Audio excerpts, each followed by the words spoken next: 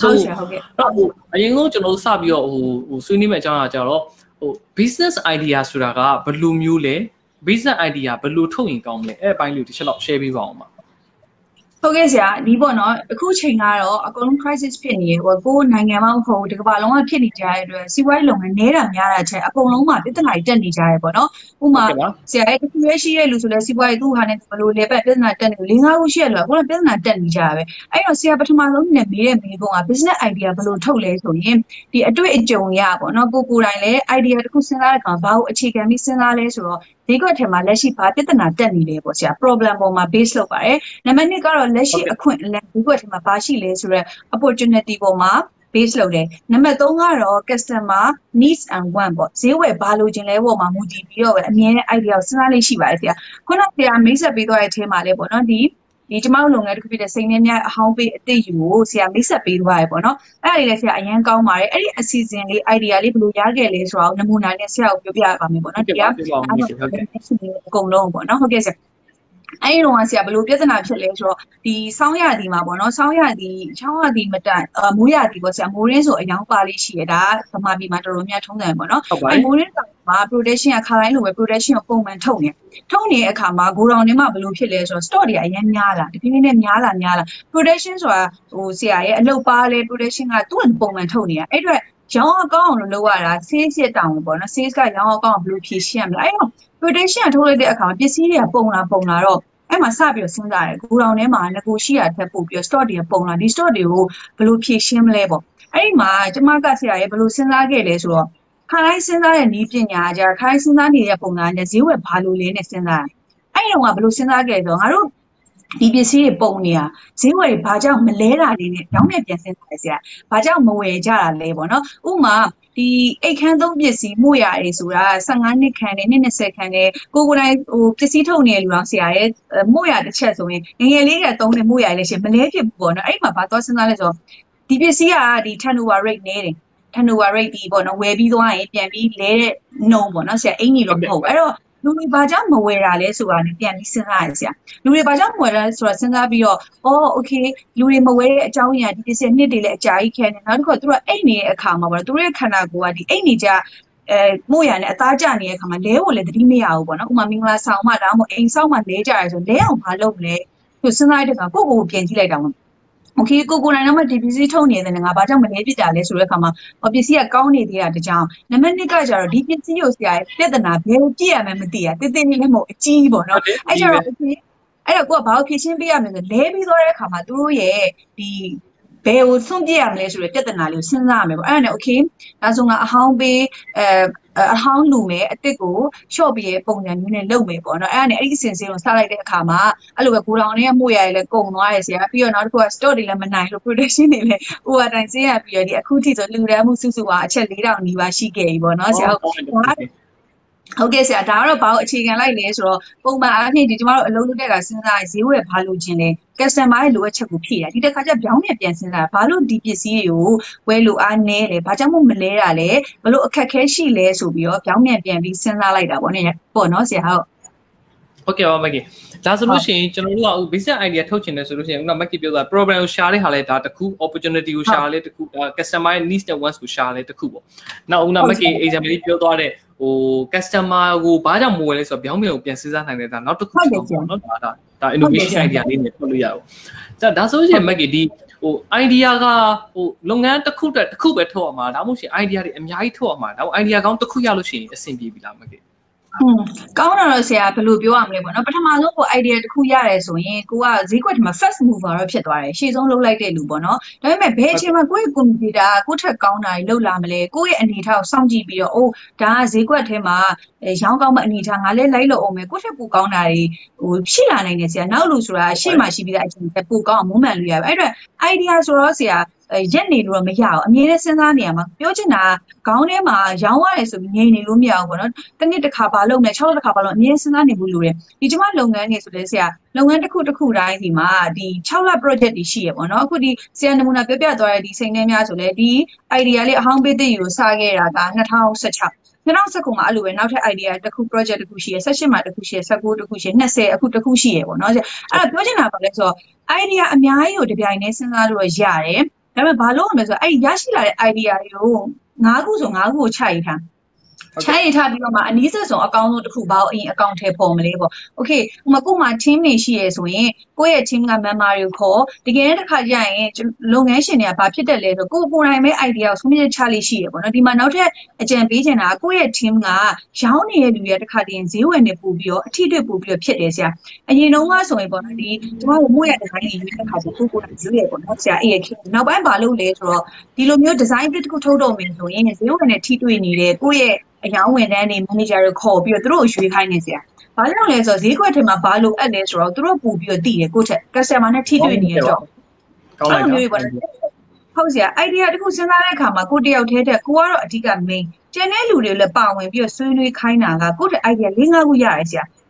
အဲ့တော့ဒီမှာနောက်ထပ်ပြောသွားသလိုမျိုး idea တစ်ခုတည်းနဲ့လုံလောက်လားတစ်ခုတည်းနဲ့ကတော့မလုံလောက်ဘူးပေါ့နော်ကို့မှာရှိတဲ့ idea လေးတဲ့ကောင်းနေဆိုအဲ့တစ်ခုကိုအခုဒီကျမတို့ဆို3လေးနှစ်ဆက်ပြီးတော့အဟောင်းပြီးအသိယူလုပ်နေရပေါ့နော်ဒီ idea လေးနဲ့ဆက်ပြီးတော့လည်းသွားတယ်ပြီးရင်တခြား idea နဲ့ဒီ marketing view ကအသစ်တွေကလည်းထပ်ပြီးတော့ထုတ်ရတယ်ပေါ့နော်ဘာကြောင့်လဲဆိုတော့ဒီဝယ်သူအနေနဲ့အသစ်ကိုအမြဲတမ်းမျှော်လင့်နေပေါ့ဆရာအသစ်ကိုမျှော်လင့်ပြီးတော့သူတို့ဘာလို့အပ်လဲဆိုတော့အမြဲမျက်ခြေမပြတ်စောင့်ကြည့်ပြီးတော့ခုနကပြော idea ၄၅ခုရှင်၄၅ခုချရေးထားချရေးထားပြီးတော့အကောင်းဆုံး idea ကိုအနည်းဆက်ဆုံးအကောင့်တွေပေါ်တာကကိုယ့်လုပ်ငန်းအတွက်ပို့ပြီးတော့အဆင်ပြေပါတယ်ဆရာဟုတ်ကဲ့ပါမကေကျေးဇူးတင်ပါတယ်အဲ့ဒါဆိုလို့ရှိရင်မကေကျွန်တော်တို့ idea ထုတ်တယ်ပြီးလို့ရှိရင်ဦးနာကိုတင်းနဲ့ discuss လုပ်ပြီး idea လေးပို့ထွက်လာတယ်ဦးနာမကေပြောဆို idea ၅ခုလောက်ရှိရဆိုရင်အကောင်းဆုံး idea ရွေးပြီးတော့ execute လုပ်ရင်ပေါ့ဒီနှစ်အတွက်ဒါမှမဟုတ်နောက်နောက်6လစာအတွက်လုပ်မယ်ဆိုရင်ဘယ် idea ဟာအကောင်းဆုံးဖြစ်လဲဘယ်လိုသိလဲအမ အင်းဆရာအဓိကတော့ပေါ့နော်အဲ goals တစ်ခုသတ်မှတ်တဲ့အခါမှာဒီ theory တော့မဟုတ်ဘူး smart goal ပေါ့နော် smart goal ကတော့ဒီဆရာတို့လည်းရင်းနှီးပြီးသားဖြစ်ပါလိမ့်မယ်ဒီတချို့ဒီမှာနားလည်ပြီးသားလူတွေရှိမှာပေါ့အဓိကတိကျမှုရှိရမယ်တိုင်းတာလို့ရရမယ် reasonable ဖြစ်ရမယ်ပေါ့အဓိဥမာဟိုမိုးရဒီမှာဆရာရဲ့ထီးလက်ဆောင်ပေးရမျိုးအဆင်ပြေပေမဲ့ဆောင်းရဒီမှာသွားပြီးထီးလက်ဆောင်ပြီးတော့အဆင်မပြေဘူးပေါ့ဒါမျိုးပေါ့အခုဆိုရင်ဒီကျမတို့6လ project တွေရေးထားတာရှိတယ်ပေါ့နော်ဒါပေမဲ့ဒီအခု covid ဖြစ်လာတဲ့အခါမှာ၄လပိုင်းမှာလုံးမဲ့ ဒီ promotion တခုကိုရက်လိုက်တယ်ပေါ့ဒါဒီ promotion ကိုမလုပ်တော့ငါးလပိုင်းမှာလုံးမဲ့ promotion ကိုလုံးမလားလို့စဉ်းစားတဲ့အခါကျတော့လေဟိုငယ်တော်တော်မှကြိုပြီးမှန်းလို့မြတဲ့ယောဂအနေထားတခုမှာကိုယ့်အနေနဲ့စောင့်ကြည့်တဲ့အနေထားရှိသေးတယ်ပေါ့နော်လောလောဆယ်မှာဘာလုပ်ထားလဲဆိုတော့ကို plan ရထားတဲ့6လစာ marketing plan တော့မှအားလုံးခဏရက်ထား team ကိုလုပ်တော့မယ့်အခါကျရင်တို့ပြန်ပြီးကြည်ညာမယ်ဆိုပြီးတော့ဒီ online ဘက်ကိုပြန်ပြီးတော့တွားနေရတယ်ပေါ့နော်ဆရာပြောချင်တာကဘာလဲတခါတည်းမှာကိုယ်စီစဉ်ထားတဲ့ plan အတိုင်းမဖြစ်ဘဲနဲ့ရုပ်တဲ့ပြောင်းလဲမှုတွေအများကြီးကြုံရတတ်တယ်ဥပမာဟုတ်ကဲ့ ဒီဈေးကွက်အနေထားဒီ trust တွေပေါ့နော် trust ကလည်းအမျိုးမျိုးပြောင်းနိုင်တယ်လို့မျိုး opportunity ဆိုတာလည်းဈေးကွက်တွေမှာအများကြီးပြောင်းနေတာအဲ့ဒါဆရာပြောသလိုမျိုးဘယ်ကအကောင်းဆုံးသိနိုင်လဲဆိုတော့ကိုယ့်ရဲ့ team ကဘာလုပ်နိုင်လဲပြီးတော့ကိုယ့်မှာလက်ရှိဘာအရင်မြင့်ရှိလဲဆိုတာအရေးကြီးတယ်ဥပမာကိုယ့်အနေနဲ့ idea အရင်ကောင်းတဲ့အာထားပေါ်သိန်း300နဲ့ project ကြီးကိုလုပ်ချင်တယ်ဒါပေမဲ့ကိုယ့်လက်ထဲမှာသိန်း300မှမရှိရဆရာအဲ့ project ကိုဘယ်လိုလုပ်လို့ရမလဲအဲ့ကျတော့ကိုယ့်မှာသိန်း50သုံးပါလားဒီ project တွေအဲ့ဆိုသိန်း50နဲ့တက်ဆိုင်တဲ့ ဟာဘာလုပ်လို့ရမလဲအကောင်းဆုံးပေါ့နော်ဒါမှမဟုတ်ကို့မှာ10သိန်းပဲရှိရကိစ္စမျိုး10သိန်းပဲဒီလမှာ marketing တော့3ပြင်ဆိုအဲ့10သိန်းနဲ့ပတ်သက်တဲ့ကိုစဉ်းစားထားတဲ့5ခုလည်းဘောင်ဝင်မဲ့ဟာပါလေပြီးရင်နောက်တစ်ခုကဒီ promotion လုပ်တဲ့အခါမှာဘယ်လောက်ထိရောက်မှုရှိလဲဆိုတာကိုပြန်ပြီးတိုင်းတာမယ်ပြန်ပြီးတိုင်းတာရဲဆိုတော့ဥမာဈေးလာဝယ်တဲ့ customer ကိုကိုယ့်ရဲ့လုပ်ငန်းကိုဘယ်လိုမျိုးသိရအောင်ဒါမှမဟုတ်ဒီ promotion ကိုကြီးညာရင်းနဲ့အဲကုန်ပစ္စည်းကိုထည့်ရောင်းတာမျိုးပေါ့ဥမာတစ်ခါဆရာရဲ့ဘယ်လိုလဲဆိုတော့ဒီညီမတို့ဆို product တွေအများကြီးရှိတယ် product တစ်ခုကိုကြီးညာတယ်ဒီ product ကထိရောက်လားမထိရောက်လားသိချင်ဘယ်လိုလုပ်လို့ရှိလဲဆိုတော့ဒီ product ကြီးညာလိုက်တဲ့အခါမှာကြီးညာပြီးတော့ဘယ်နှစ်ရက်အတွင်းမှာ discount ဘယ်လောက်ပေးတယ်ပေါ့ဒါမှမဟုတ်ဒီ product ကိုကြီးညာလိုက်ပြီးတော့ဘယ်နှစ်ရက်အတွင်းဝယ်ရဆိုလက်ဆောင်ပါလေးပေးတယ်ပေါ့အဲ့ဒါဆိုဒီကြီးညာက feedback ဘယ်လောက်ရှိလဲဆိုတော့ပို့ပို့ပြီးတော့သိရတယ်ပေါ့နော်အဲ့တော့ဆရာမေးသွားတဲ့မေးခွန်းက idea တွေအများကြီးတွေကဘယ်ကအကောင်းဆုံးဖြစ်နိုင်မလဲဆိုတော့ဒီ smart goal နဲ့ကိုက်ညီတဲ့ကိုယ့်ရဲ့ goals plan တစ်ခုဖြစ်ရမယ်ပေါ့နော်ပြီးရင်နောက်တော့ realistic တကယ်လိုက်လုပ်လို့ရတဲ့အရာမျိုးဖြစ်ရမှာစိတ်ကူးတွေအိမ်မက်တွေနဲ့ရှာတော့လူတိုင်းရှိကြပဲလုပ်ငန်းရှင်တိုင်းဒီမှာဥရှိမှလည်းဆရာရဲ့အကောင့်ထဲမှာပေါ်တဲ့စိတ်ကူးတွေအများကြီးရှိတယ်ဒါပေမဲ့နောက်နံပါတ်1ကဘာလို့ပြန်ချက် budget plan ပေါ့ဒီက finance ကရောဝင်ငွေတစ်လောက်လောက်ရှိလားဒီ promotion ဒီ marketing plan တွေဒီလောက်သုံးရင်အဆင်ပြေမလားဆိုတာမျိုးတွေနဲ့ပြန်ပြီးတော့အကောင်းဆုံး plan ကိုရွေးချယ်ရပါတယ်ဆရာ ဟုတ်ကဲ့ပါမကေအရင်ပြည့်စုံပါတယ်ဆိုတော့ကျွန်တော် idea ကောင်းလေးထွက်လာပြီဒီဟာကို smart goal နဲ့လေကျွန်တော်ချိန်နေဒီဟာကောင်းမကောင်းလဲကျွန်တော်စမ်းသက်ပြီးတော့မှတကယ်ကိုဆက်ပြီးဟိုလုပ်မယ်ဆိုလို့ရှိရင်ဒါဆို idea ကိုထုတ်လိုက်တာနဲ့အောင်မြင်သွားပြီလားဦးနောက်လို့ဟို test လုပ်လိုက်တာနဲ့ဟိုဒီဟာအောင်မြင်သွားလားဒါမှမဟုတ်လို့ရှိရင် team ရဲ့အရေးပါမှုရောဘယ်လောက်လောက်ရှိလဲ execution ဟာရောအရေးပါဘယ်လောက်လောက်ရှိလဲမှာ ရှိရဆရာဟိုအဓိကလှုပ်ဆောင်ရတာက leader တို့ manager တို့ဆို decision ပဲချမှတ်တာပေါ့နော်အောက်က team ကမှဒါကိုတကယ်လက်တွေ့အကောင့်ထဲပေါ်တာအဲ့တော့ဒီ information တွေကို team တွေကိုရဖို့ team ရဲ့စိတ်ထဲမှာငါတို့ကဒီထဲမှာတသားလေးဖြစ်ပါလားဆိုတဲ့အသိစိတ်တရှိဖို့ဆိုခုနကပြောဆိုဒီ project ကိုမချခင်တည်းက meeting လုပ်ဖို့လိုရဲ့ဆရာ meeting လုပ်တယ်ဆိုတော့ဘာလဲဆိုတော့ဒီ project အကောင့်ထဲပေါ်ဖို့တဦးတယောက်တည်းအရေးပါပါတယ်ဆိုရဲဒါအသိလေးပေးလိုက်တဲ့ပုံ တို့အနေနဲ့အော်ဒီ project တွေ meeting တက်ရတယ်တို့အကြံတွေကိုပေးရတယ်ဆိုတော့အာဒါတို့အကြံပေးရတယ်ပေါ့နော်တို့ကလည်းရေးပါတယ်လို့တို့ကိုခံစားလာတယ်ဆရာအဲ့ဒီကနေပြီးတော့မှဘာလို့လဲဆိုတကယ် okay project account တွေဖော်တော့မယ်ဆို project ကဘာတွေပါတယ်ဟိုမ promotion တစ်ခုလုပ်တိုင်းကျွန်တော်တို့ဆိုဘာလို့လဲဆိုတော့တပတ်မတိုင်မှာအမြင်စာရီကျူထုတ်တယ်ဗျစာရီကျူထုတ်ပြီးအဲ့စာရီကဆိုင်ခွဲတွေရုံးတွေကိုပို့တယ်ပေါ့နော်ဘာတွေပါလဲဆိုအဲ့မှာ promotion နဲ့ပတ်သက်တဲ့အကြောင်းအရာတွေပြီးရင် promotion နဲ့ပတ်သက်ပြီးတဝူတယောက်တိုင်းလိုက်နာမှာတဝူတယောက်တိုင်းဆိုဆရာဘယ်သူတွေပါလဲဆိုအယောင်းဝန်ထမ်းတွေပါတယ်ဒီ ပြီး accountant ငွေစင်းစစ်မဲ့လူဘာကြောင့်လဲ promotion တစ်ခုလုပ်လိုက်တဲ့အခါမှာ finance ကအရေးကြီးရဆရာ finance ကတကယ်ဒီ promotion ရဲ့ဈေးဝယ်ကိုပေးရလားဒီလက်ဆောင်ဈေးဝယ်ရရလားဒီ discount အောင်ဈေးဝယ်မှာခံစားမှုရှိလိုက်ရလားဂျားရဲရော ဘယ်လိုဖြစ်သွားလဲဆိုတာမျိုး finance ကပြန်စစ်ရတယ်ပေါ့နော်ဆရာအဲ့တော့အဲ့ information ကို team တွေအကုန်လုံးပြန်ပြီးခွဲဝေပေးရတယ်ပြီးရင်ဥပမာတစ်ခါတည်း information မှာကိုကပေးချင်တိုင်းထည့်ရဗဒီ promotion ကတော့ဘလို့လူတွေခံစား권ရှိရဝန်ထမ်းတွေဆိုမှခံစား권မရှိပါမျိုးဒါမျိုးပေါ့တခုခုမတမာတာမျိုးတွေးခဲ့ရင်ဘလို့အဲဘယ်နဲ့စရောရမယ်အစရှိနေဒါမျိုးပေါ့နော်ဆရာ information ပြည့်ပြည့်စုံစုံပေးထားလိုက်တဲ့အခါမှာသူတို့ကလည်းဒီ information နားလည်တဲ့အတွက်ဒီတိုင်းဝင်အောင်လိုက်ပြီးလုပ်တယ်ပေါ့ဥပမာအာ နိုင်ငံတနိုင်ငံလဲဆရာဒီလိုပဲစီကံတစ်ခုသတ်မှတ်တယ်တစ်ခုခုလုပ်တယ်ဆိုရင်သူကအစမ်းခန့်ကာလရှိရှိရှိမယ်ပြီးမီဒီယာ channel တွေကနေသတင်းဖြန့်ဝေရမျိုးရှိမယ်ပြီးတော့မှတကယ်လှုပ်ဆောင်တဲ့ဒီ dam base စုပေးကာလကရောက်လာတယ်ပေါ့နော်အဲ့လိုပဲဒီကျမတို့အဲ pro ဒီ problem တစ်ခုကိုဖြေရှင်းတယ် promotion တစ်ခုကိုလုပ်တဲ့အခါဆရာတို့ team ရဲ့ ပါဝင်မှုအရင်အရေးကြီးတဲ့ team ကိုဘယ်လိုပါအောင်လုပ်ခဲ့လဲဆိုနံပါတ်1က meeting လုပ်ခြင်းပေါ့နော်နံပါတ်2ကကျတော့ဒီ promotion မစခင်မှာတပတ်လောက်စာရွက်တွေရုံးတွေမှာဝေတယ်ဝေပြီးအဲ promotion ဆက်ဆက်ချင်းနေ့မနက်မှာပြန်ပြီးအကုန်လုံး meeting ပြန်ခေါ်ပြဘာလို့ meeting ခေါ်လဲဆိုတော့မသိတာတွေမေးဖို့ဒီ machine လင်းတာတွေကိုသူတို့ပြန်ပြီးတော့ဒီ manager တွေကိုပြန်မေးဖို့ပေါ့နော်အဲ့ဒီကနေပြီးတော့မှ promotion plan ကို account ထဲပေါ်ပါရဲ့ဆရာ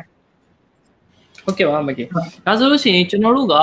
ဟို idea ကောင်းလဲရသွားပြီခုနက testing လုပ်တဲ့ချိန်မှာဒါ idea ကောင်းဆိုတာသိသွားပြီတော့ team ကြီးအားလုံးလည်းဟို execute လုပ်ဖို့တဲ့ကျွန်တော်စနစ်ကြစီမံပြီးရင်ကျွန်တော်တို့က ACC နေလို့ရပြီလားမနောက်တစ်နှစ်ကျမှကျွန်တော် idea ထုတ်နေတာပြောရပြီလားဆရာဆရာတည့်ရနဲ့မင်းနေတယ်လို့အဲ့မင်းကောတိလား ဟုတ်ဆရာတကယ်တော့လေအေးစစ်စစ်ကတော့လုပ်ငန်းတစ်ခုလုပ်ပြီဆိုရင်နေလို့မရဘူးပေါ့နော်။ဘာကြောင့်လဲဆိုတော့အဲ့လုပ်ငန်းရှင်ကအာခေါင်းထဲမှာကိုယ်လုပ်ငန်းအကြောင်းအမြဲစဉ်းစားနေရမှာဆိုပြီးအဲ့ plan ခုချမှတ်သွားပြီအော်ရပြီရော့အင်းရော့ဒီလိုလည်း meeting လုပ်ပြီးသွားပြီ slide တွေလည်းပေးပြီးသွားပြီရော့စပြီးတော့ကြောင်းညတော့လို့အဲ့လိုလည်းလုပ်လို့မရဘူးဆရာသူတို့အမြဲတမ်းပြန်ပြီး feedback ယူနေရတယ်အာဒီအလုပ်တစ်ခုလုပ်တယ်ဆိုတာ meeting ကဘာကြောင့်အရေးကြီးလဲဆိုရင်ပေါ့နော်ဒီ meeting ဆိုတာမျိုးက အဓိကသူတို့ရဲ့ idea တွေသူတို့အဆင်ပြေမှုရှိမရှိကိုယ့်ရဲ့လုပ်ငန်းထဲမှာလှုပ်ဆောင်နေတဲ့ team ကချောမွေ့ရဲ့လားပြီးတော့သူတို့ရဲ့လုပ်ငန်းတွေမှာရှိတဲ့ပြဿနာပေါ့ဒီ border of net လို့ခေါ်တဲ့လုပ်ငန်းကိုနှီးကွေးစေမယ့်အရာတွေသူတို့ဘာတွေကြုံတွေ့နေရလဲပေါ့နော်အဲ့ဒါကိုဖြည့်ရှင်းနေတဲ့ဆန္ဒအနေ meeting လုပ်တာဖြစ်တဲ့အတွက်ဆရာဆရာ ခုနမေးသလိုမျိုးပေါ့အဆင်ပြေသွားပြီဆိုပြီးတော့ထားလိုက်လို့တော့မရဘူးဆရာဘာလို့လဲဆိုတော့တခါတည်းမှာပြဿနာကို follow up မလိုက်တဲ့အခါမှာပြဿနာအကြီးတက်လာမှ manager စီရောက်လာမျိုး complaint အကြီးတက်လာမှအထက်ကဖြည့်ရှင်းပေးရမည်ကြုံရတဲ့တယ်ပေါ့နော်အဲ့ဒါကိုအနေနဲ့ကဘာလုပ်ဖို့လို့လဲဆိုတော့ idea တစ်ခုထုတ်ပြီးသွားရင်တခါနဲ့မပြီးအဲ့ idea အဆင်ပြေရဲ့လားနော်နှစ်ပတ်တစ်ခါပြန်ပြီး follow up လုပ်တာမျိုးဘာအခက်ခဲရှိလားအခက်ခဲရှိရဆိုလဲအဲ့ဒီ idea လေးကိုပိုကောင်းအောင်ပြင်လိုက်တာမျိုးပြီးရင်နောက်ထပ်ဒီ idea ပြီးသွားရင်ရောဒုတိယချိန်မှာငါတို့ဘာလုပ်ကြမလဲဆိုတော့ plan ကိုထပ်ပြီး account နဲ့ပေါ်ရတယ်ပေါ့နော်အဲ့တော့စီးပွားရေးလုပ်ငန်းတစ်ခုလုပ်တယ်ဆိုတာကအမြဲတမ်းကိုစီးပွားရေးကိုလေ့လာနေမှုပေါ့နော်ဒီကိုစီးပွားရေးအခြေအနေကိုယ့်ရဲ့ဈေးကွက်အခြေအနေ market အခြေအနေကမျက်ခြေပြက်လို့မရဘူးမျက်ခြေပြက်လိုက်ပြီဆိုတာနဲ့အာပြန်လိုက်ဖို့ကပိုခက်သွားတယ်ဟိုတောက်လျှောက်ကိုကဒီဈေးကွက်လေးမှာဒီရေစုံ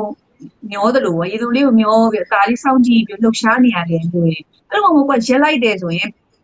ပြန်မဲ့တွေကြော်တက်သွားမျိုးရှိမယ်။ဒါမှမဟုတ်ဈေးကွက်အနေထား flow မမီရောတဲ့အခါမှာပြန်လိုက်ဖို့တော်တော်ခက်တယ်ကြ။အဲ့တော့ကိုယ့်အနေနဲ့ကဒီမစုံမနစ်ပေါ့နော်အများကြီးစူးစမ်းလိုက်တစ်ခါလေကြောက်ရလဲပုံမှန်လေးစူးစမ်းလိုက်ဒါမျိုးလေးသွားနေရမယ်ရက်နေလို့မရဘူးဆရာဟုတ် ဟုတ်ကဲ့ပါမကေကျေးဇူးအများကြီးတင်ပါတယ်ဒါဆိုလို့ရှိရင်အခုမကေဆိုလို့ရှိရင်ဒါစိတ်နဲ့မြရောနောက်ဘလို့ရှိရင်ဒီ Emperor ရောနောက်ဘလို့ရှိရင်ဒီဘက်က LB ရနော် London Business Academy ရောနောက်တခြားလုပ်ငန်းတွေရှိမှာပါနော် Catherine Top Online University လည်းကျွန်တော်ရှိတယ် so ဒီ idea တွေကို မက်ကီဘယ်လိုမျိုးထုတ်လဲဥနာလိုဟိုကျွန်တော်ဟို problem ရှာလဲ opportunity လိုက်ရှာရဲ need and want ရှာရဲ customer ပြောင်းပြန်စဉ်းစားတာတခုတည်းလောက်တော့ကျွန်တော်မယူရှင်းလို့ကျွန်တော်မြင်တယ်။အဲဆိုမက်ကီဒါဆိုရင်ဟိုစီမံတဲ့လုပ်ငန်းတွေအများကြီးပဲ idea တွေဆိုလို့ရှိရင်အမတခုတည်းနေမကောက်ဘူးဒါတခြားလုပ်ငန်းတွေတော့အမအမြဲ idea တွေထုတ်ပြီးနေရတယ်။ဆိုတော့အဲ့လိုမျိုးအများကြီးထွက်အောင်ဘယ်လိုမျိုးကျွန်တော်လုပ်အောင်မလဲ။ အဓိကကတော့ဆရာအချိန်လေးတွေကန့်သက်ထားဖို့လိုတာပေါ့နော်ဆရာဥပမာဘယ်လိုအလုပ်လုပ်လို့ရှိရင်တော်တော်များများတော့မေးတယ်အဓိကကနံပါတ်1ကပါလဲဆိုတော့ကိုကဆရာလူကောင်းတွေမွေးတတ်ဖို့တော့လိုတယ်ကိုကနေရာတကာမှာပါရမယ်ဆို idea အသိမထုံသိကြရကြအရင်တော့ကဆိုပေါ့နော်ဒီဒီမှာအလုပ်လုပ်တယ်ဆိုတာဆရာဒီမိဘအလုပ်ကိုကူလုပ်ခဲ့တယ်ဆိုတာကြောင်းပြီးမှမဟုတ်ဆရာဒီရဲဆိုဒီရှစ်တန်းနဲ့အဖေကိုကူလုပ်ခဲ့ရဆရာရှစ်တန်းမှာအဖေကဒီနိုင်ငံခြားပစ္စည်းစပြီးတွင်းနေပေါ့နော်တွင်းတဲ့အခါမှာကိုကအဖေကို email ပို့ပေးရတယ် email ပို့ပေးရနေပြီးတော့ email တောက်လျှောက်ပို့နေကြောင်းပြီးတော့ကဒီဇိုင်းလေးဆွဲတတ်တော့အဖေကဒီဇိုင်းဆွဲကဒီဇိုင်းစဆွဲပဲအဲ့ဒီကလေးကဘယ်လိုစဉ်းစားလဲဆိုတော့ငါ email ပို့နေရတယ်ဒီဇိုင်းဆွဲနေရတယ်ဆိုရင်ငါဒီလုပ်ငန်းတိုးတက်ဖို့ဘယ်လိုစဉ်းစားမှာပေါ့အဲ့ဒါနဲ့အဲ့လိုပဲ email ပို့တတ်တဲ့လူတွေခေါ်တယ်ဒီဇိုင်းဆွဲတတ်တဲ့လူတွေစပြီးခေါ်တယ်ပေါ့နော်ပြောချင်တာကဆရာပါလဲဆိုတော့ကိုက leader လောက်လာမယ့်လူဆိုတာအောက်ခြေ floor plan ကိုသိထားဖို့လိုတယ်မလိုတာမဟုတ်လုံးဝလိုတယ်ဒါပေမဲ့အဲ့ floor plan မှာမရှိမဖြစ်ကိုကပါနေရမယ်တကယ် main operator ကြီးမဖြစ်ဖို့တော့လိုတယ်ပေါ့နော်အဲ့တော့ ကိုယ့်ရဲ့အဲ့ဒီ main operator ဖြစ်နေပြီဆိုအဲ့နေရာကိုကိုလွှဲရမယ့်လူတယောက်လွှဲဖို့လွှဲရမယ်တခါတည်းဘာပြဿနာရှိလုပ်ငန်းရှင်တော်တော်များများက ဘာမေးကြလဲဆိုဟာတင်ရမှာပြင်းနေတင်မမြဲဘူးတင်ပြီးတော့ရင်ထွက်သွားမတက်နိုင်ဘူးဆရာတင်ရမှာပဲအနည်းဆုံးတော့ကိုတင်လိုက်လို့ तू ကကိုရှင်မှာမြဲတဲ့3လ6လမှာကိုတခြားတာလုပ်လို့ရတယ်ဆရာတော်တော်များများကဘာဖြစ်လဲဆိုတော့ဒီ S&P တော်တော်များလုပ်ငန်းရှင်တွေကတင်ရမှာတယ်ထွက်သွားမှာဆိုရင်မတင်ကြပဲကိုပဲလုပ်တယ်ပေါ့နော်တဲ့လုပ်ငန်းကပြီးလာအဲ့တော့အဲ့ဒါကိုပြင်ရမယ်ဆရာတကယ်ဟိုပေါ့နော်ပို့ပြီးကောင်းနေတယ်အဲ့တော့ကိုကအဲ့ကိုရဲ့နေရာမှာအစားထိုးလေးရမယ်လူကောင်းကိုမွေးရမယ်ဆရာမွေးပြီးတော့တဲ့ခါကျမှအဲ ဘာလုပ်လို့ရှိလဲဆိုတော့စက်ရုံဆိုရင်ဒီကျမအနေနဲ့စက်ရုံဆိုရင်တစ်ပတ်ကိုတစ်ခါနှစ်ခါသွားနိုင်အောင်ကြိုးစားရပါပြီး idea တစ်ခုစဉ်းစားတဲ့အခါမှာတကန့်စီစဉ်းစားရကြ။မဒီနေ့ကနင်း online university အတွက်စဉ်းစားရဆိုရင်အဲ့ဒီမှာကနင်း online university ပဲခေါင်းထဲမှာထည့်ထားတယ်တခြားမထည့်ထားဘူးပေါ့နော်အဲပြီးရင်ဒီနေ့စိတ်နှမြအတွက် meeting လုပ်နေတယ်စိတ်နှမြကိုခေါင်းထဲမှာထည့်ထားဆိုတခြားအလုပ်ကိုမထည့်ထားဘူးပေါ့နော်ဆရာပြောလိုပဲဘယ်နေရာမှာတခါလေပြဿနာရှိတယ်လဲဆိုတော့မန်လေးအပါနဲ့စိတ်နှမြတယ်နည်းနည်းလေးလုပ်ငန်းလေးကအလားတူဖြစ်တယ်ပေါ့နော် ကျန်တဲ့လုပ်တွေအကြောင်းဆိုကြောင်းအမှုရမှုရတကန်နာစီဆိုမတူဘူးအမန်လေးပိုင်းစိတ်နဲ့မြတ်တယ်တခါကျ idea တစ်ခုပေါ်လာရင်ဘသူ့ကိုပေးရမလဲဆိုတော့တော်တော်လေးကာကျဖြစ်တယ်ပေါ့ဘသူ့ကိုဒီ idea သုံးချရမလဲပေါ့နော်အဲ့ကြောင့်ဘယ်လိုလုပ်လဲဆိုတော့ခုနကပြောလို့6လစာတစ်ခုကိုဆွဲထားလိုက်ပြီးဆိုရင်နောက်တစ်ခုကိုဆွဲထားတဲ့အချိန်မှာ promotion မတူအောင်ပေါ့ပြီးခုနကပြောလို့ manly para နဲ့စိတ်နဲ့မြလုပ်ငန်းကြီးခက်စင်စိတ်နဲ့မြအမှုရကို short နေရတယ် manly para မှာမှုရကိုမ short ဘူးဆိုဖာကို short ရဒါမျိုးပေါ့ဆရာမတူညီရဲ့ promotion လေးနဲ့တွားရတယ်ပေါ့နော်အဓိကတော့ time management နဲ့ကိုကိုကို idea ကိုပေးနိုင်တဲ့ကိုပိုင်အချိန်လေးပေးဖို့လိုတယ်တကယ်တော့လုပ်ငန်းရှင်တွေထဲမှာကိုပိုင်အချိန်မရှိတာမျိုးရှိတယ်ပေါ့နော်ခုနပြောစိတ်မချတာတွေစိုးရိမ်တာတွေအသေးစိတ်လိုက်ပါနေတဲ့အခါမှာတကယ် idea ထွက်ဖို့အချိန်မရှိတော့ဘူးပြီးရင်နောက်တစ်ခုကကျ idea ကိုအဲကျမရဲ့ဘယ်ရှင်နေစဉ်းစားလေးလေးရှိလဲဆိုတော့မနေ့အစောကြီးမှစဉ်းစားလေး idea ကောင်းဆိုပေါ့မနေ့အစောကြီးမှစဉ်းစားလေးရှိရပြီးညအိတ်ခန့်ဒီမှာ plan ရေးလေးရှိရပေါ့ဘာကြောင့်လဲဆိုတော့ तू က လူတယောက်ကအဲ့ရထားကန်ဒီအဲ့ရထားကစားအချိန်ဆိုရင် energy အရင်ပြည့်နေရောအဲ့ရထားကစားမနေ့3နာရီကသူလုံးဝအားရည်နေအပြည့်စုံတဲ့အဲ့ဒီအချိန်မှာကိုယ့်ရဲ့ဒီ business ကိုကိုယ့်ရဲ့ personal development ကို change ဖြစ်စေမယ့်အရာကိုလုပ်ပေါ့ပြီးတော့မှကျန်တဲ့ကိုမပဖြစ်တဲ့ဒီ operation နဲ့ပတ်သက်တဲ့ဟာလေးတွေကိုလုပ်ပေါ့နော်အဲ့လိုအဲ့လိုမျိုးနဲ့ဆရာဒီ business idea အသစ်တွေရေးဆွဲပါလေဆရာဟုတ် ဟုတ်ကဲ့ပါမကေအများကြီးကျေးဇူးတင်ပါတယ်ဒီမှာ insight ပေါ့လေတကယ်ဟိုဘယ်လိုမျိုးလုပ်အောင်မလဲဆိုတော့ဒါဒါ business idea secret လို့ကျွန်တော်ပြောလိုက်ရနော်ဘယ်လိုဘယ်လို idea အများကြီးထုတ်မယ်ဆိုတော့လိုအပ်ချက်တော့ကျွန်တော်တို့ဒီမှာအားလုံးကြားနေရ so ကျွန်တော်ပြောချင်တော့ဒါဟိုဒီကြားထဲမှာပေါ့လေ business idea ဘယ်လိုထုတ်မလဲဆိုတော့လေကျွန်တော်သွားပါမယ်အဲ့ဒါလေးမသွားသေးခင်ဟိုမကေဒီကြားထဲမှာပေါ့လေအခုလုပ်ငန်းတွေလည်းအများကြီးလုပ်တယ်ဆိုတော့လုပ်ငန်းတိုင်းကိုလုပ်လိုက်တိုင်းအောင်မြင်သွားတာလားဒါမှမဟုတ်လို့ရှိရင်ဆုံးရှုံးတာမျိုးဒါမှမဟုတ်အခက် ခဲကြုံရတဲ့ဟာမျိုး lesson learn တွေရောပါနေပါရှိတယ်မှာရှိရပေါ့ဆရာတကယ်တမ်းဆိုရင်တချို့ကပေါ့နော်ဒီဖက်နက်လုပ်ငန်းထဲမှာစပြီးတော့တတိထားမိကြတယ်ပေါ့နော်အဲတကယ်တမ်းကျမလုပ်ငန်းစလုပ်တာအကြောင်းပြီးကစားမှာခုနကပြောဒီငယ်လေးအခုပူလို့ဒါပေမဲ့အကြောင်းပြီးကစားမှာဒီ2017မှာတော့ driver အနေနဲ့လုပ်ငန်းတွေစဝင်နေပေါ့နော်အဲ့ဒီအချိန်တော့ဆရာအယုတ်ရောင်းခဲ့သေးရဲ့ဆရာအယုတ်ရောင်းနေတော့ဘယ်လိုရောင်းလဲဆိုတော့အဲ့တော့မုံမိုးလေးရှိရလေးပေါ့နော်မုံမိုးလေးရှိရလေးကိုစီတော့ဘာစဉ်းစားလဲဆိုတော့ဒီ ပတ်စံနေရတော့မိတဲ့တက်တာတွေမှာထားရင်ဒီတိုင်းထားလို့တော့ပွားမှာမဟုတ်ဘူးပေါ့နော်ပွားအောင်ဘယ်လိုလုပ်ရမလဲဆိုစဉ်းစားရတယ်ပွားအောင်လုပ်ရတဲ့ဒီကတစ်ခုပဲရှိရရင်းနှီးမြုပ်နှံမှုပဲရှိရအဲ့ကြတော့မဘယ်မှာရင်းနှီးမြုပ်နှံရမလဲအဲ့မှာအဲ့လိုပဲကိုကတရုတ်ကနေပြီးအဖေကို email တွေပို့ပေးရကြတော့အဲပစ္စည်းမိတ်ဆက်တဲ့လူ email တွေခဏခဏဝင်လာဝင်တဲ့အချိန်မှာအယုတ်ကုမ္ပဏီတစ်ခုကအဲ့မှာ email ဝင်လာတော့ဆိုတော့ရောင်းဈေးတွေပါတယ်ပေါ့ဒါပေမဲ့အဲ့ချိန်မှာကိုကတောင်ဆုံပြီလားပညာတက်ပြီလားဆိုတော့မတက်သေးဘူးဆရာငယ်လေးငယ်သေးအတွေ့အကြုံလည်းမရှိသေးဘူးပေါ့နော်ဒီအိမ်ကပေးတဲ့တောင်မလုတ်တက်တဲ့အနေထားမှာကိုက ဘာဘာသွားပြီးတော့တွေ့လဲဆိုတော့ရောင်းစည်းကိုတွေ့တယ်ပြီးတော့ကို့အပြင်မှာဘယ်လောက်နဲ့ဝယ်ရလဲဆိုတော့တီတော့ဟာငါရောင်းတာတလောက်ဝယ်ရတော့ငါတော်တော်မြက်မှာပဲပေါ့ဆရာသိရမလားဟို900နဲ့ဝယ်ပစ္စည်းကို2000နဲ့ရောင်းတော့ဟာငါတော့မြက်ပြီဒါကြီးကုန်ပြီမြက်ပြီတော့ပွားလို့ရပြောချင်တော်တော်မြတ်ဖြစ်တဲ့အမှားပေါ့နော်အဲ့ဒီအချိန်မှာကိုကအာဈေးကွက်အကြောင်းလည်းနားမလဲဘူးဈေးကွက်မှာဘာကြီးကြိုက်လဲဆိုတာမနားမလဲအချိန်မှာဘာလို့လဲကိုကြိုက်တာကြီးသွင်းနေကြ ကိုကြိုက်တာကြီးသွင်းပြီးတော့အဲ့ဒီရုပ်တွေကိုကြောင်းနေပေါ့နော်အရင်တော့ပြန်ရတယ်မမြက်ခဲ့ဘူးဒါပေမဲ့အဲ့ဒီရုပ်တွေကလည်းခုထိဂိုးတော်ထဲမှာရှိသေးတယ်ဗျအဲ့ဒီလိုဝင်2010လေးမှာအပညာရေးလူသေးရဆိုပြီးတော့ဒီစာရေးဆက်ဖတ်တယ်ပေါ့နော်သူစီဝိုင်းတင်တဲ့နေတက်တက်ပြီးဟုတ်ပညာလိုချင်တော့အဲ့မှာ master ကြီးထပ်ပြီးတော့ယူရပေါ့နော် master ကြီးထပ်ယူငါပညာသိဖို့လူသေးရပေါ့အဲ့မှာနောက်ထပ်အဲဖက်နဲ့လုပ်ငန်းကိုလုပ်တယ် ဖက်လုပ်ငန်းလုပ်နေရင်လည်းအဲ့လိုပဲဆရာဖက်လုပ်ငန်းကတော့ငယ်သေးဝါသနာအရာဟို fashion သဘောကျလို့လုပ်တယ်လုပ်ဖက်လုပ်ရင်လည်းတော့သုံးနှစ်လောက်ပဲကြည့်ရပေါ့နော်ဖက်ကလည်းတော်တော်အထိုက်လျောက်တော့ဒီစုရလည်းရအောင်မြင်ခဲ့ရှင်2019မှာဘာပြန်ဖြစ်လာလဲဆိုတော့အဲ့ဒီချိန်တော့ဆရာဒေါ်လာဈေးဝုန်းဝုန်းဆိုတက်တယ်2015မှာ အလုတ်ဆလောက်တော့ဒေါ်လာဈေးကဗမာငွေ1000ဆိုရင်1ဒေါ်လာပေါ့အလဲအလုပ်လို့ကောင်းနေတယ်အလုပ်လည်းဖြစ်တယ်2016ကဆိုပြီးဒေါ်လာဈေးကဆက်တက်သွားအခုတည်း1500ပေါ့နော်အဲ့ချိန်မှာစပြီးတော့အနှုတ်ကဆက်ပြပါဆရာအနှုတ်ကဆက်ပြဘာကြောင့်လဲဆိုဆိုင်ငန်းကောင်မကြော်နိုင်ဘူးဈေးကလည်းတစ်ချက်တင်လို့မဖြစ်တော့ဘူးအဲ့အနှုတ်ဆက်ပြမှာဘာစဉ်းစားလဲဆိုတော့တော်ပြီပေါ့ဒီငားပြီးလုပ်တဲ့အလုပ်ကိုမလုပ်ချင်တော့ဘူးပေါ့ဒီထက်လုပ်မယ်ဆိုရင် distribution အလုပ်ကိုလုပ်မယ်ဒါမှမဟုတ်ဒီ consumer product လာလုပ်မယ်ပေါ့အဲ့ဒီချိန်မှာ2019မှာဒီတငယ်ချင်းတယောက်က အဲကြောင်းဖွင့်မယ်ဆိုတော့မဟာကြောင်းဆိုတော့စိတ်ဝင်စားရပေါ့။ဘာကြောင့်လဲဆိုတော့အဲ့ဒီမတိုင်ခင်ကကိုကဒီစင်ပေါ်မှာစကားတွေစပြောနေပေါ့နော်။ဆက်စဒီလုပ်ငန်းလူငယ်လုပ်ငန်းရှင်အနေနဲ့ပြီးတော့ကျတော့ဒီလုပ်ငန်းထဲမှာလည်းဝန်ထမ်းတွေကို training စပေးနေတော့ဒါလေးတော့ဝါသနာပါတယ်ဆိုပြီးကြောင်းကို investment လုပ် investment လုပ်တဲ့အချိန်မှာလည်းဘယ်လိုလုပ်လဲဆိုတော့ ဒီဖက်နှက်လုပ်ငန်းစိတ်မစိတ်ကစပြီးမပါတော့ဘူးမပါတော့တဲ့အချိန်မှာဖက်နှက်လုပ်ငန်းရသမျှအမြင့်အစွန်ရသမျှဒီ income ကိုပြန်ယူပြီးတော့ဘာလို့လဲကျောင်းတော့ပြန်ပြီးမြုပ်နေတာဆရာကျောင်းတော့မြုပ်နေပြီးတော့အဲ့အဖေးနဲ့ပညာရေးဘက်ကို shift လုပ်လာတယ်ပေါ့နော်ဒါပေမဲ့အဲ့ချိန်မှာတချို့ကလည်းထင်ရတယ်ပေါ့ဒီလုပ်ငန်းကကြာသွားပြီးတော့ဘယ်လိုလို့အောင်မြင်အောင်မလုပ်ဘဲနဲ့ဘယ်လို entrepreneur ဖြစ်လဲမှာတကယ်တော့မဟုတ်ဆရာအဓိကပါမအောင်မြင်တာမဟုတ်သူ့အောင်မြင်မဲ့ survival လုပ်နိုင်မဲ့နီးလန်းတွေကိုသိတယ်သိတဲ့အချိန်မှာကိုကဘာပြင်သွားလဲထောင်မြင်ရဆုံးဆိုတယ်လို့ပဲဆရာယာလောက်ပဲမြတ်တဲ့အလုပ်ကိုမလုပ်ချင်တော့တာအမှန်တော့ ဂျာလက်ပဲမြတဲ့အလုပ်ကိုလုပ်ချင်တယ်ထောင်မြင်တဲ့အလုပ်ကိုသွားပြီးတော့လုပ်ချင်တာပေါ့နော်တကယ်တော့အဲ့ဒါနဲ့နောက်အဲ့ရနေဆက်ဆက်ပြီးတော့ online ကနေ Catherine Talk တွေလုပ်ရင်းနဲ့ online ကနေပညာသင်မယ်ဆိုရင် online ကနေပညာသင်တယ်ပေါ့နော်အဲ ညီလိုနီးနဲ့ဆရာအလုပ်တွေလုပ်ခဲ့ရပေါ့ပြောချင်တာအခုဆရာကပြပြသွားတဲ့ဥပမာတွေထဲမှာဒီကြာရှုံးခဲ့တဲ့အကြောင်းရင်းတွေဥပမာပါသွားတယ်ပေါ့နော်ဈေးကွက်ကိုတခြားမစုံစမ်းပဲနဲ့လုပ်လိုက်တာမျိုးနံပါတ်1နောက်တစ်ခုကပါလဲဆိုတော့တစ်ခါတည်းမှာရောင်းတဲ့လူကကိုယ့်အကြိုက်ကိုအရင်ရောင်းချင်တာဈေးဝယ်ရဲ့အကြိုက်ကိုမကြည့်ဘူးပေါ့လူငယ်ဆိုပူဆွဲဆရာ idea ရှိရအဲ့ idea ကိုအရင်ချပြချင်တာဒါပေမဲ့သူကအဲ့ idea ကိုလက်ရှိ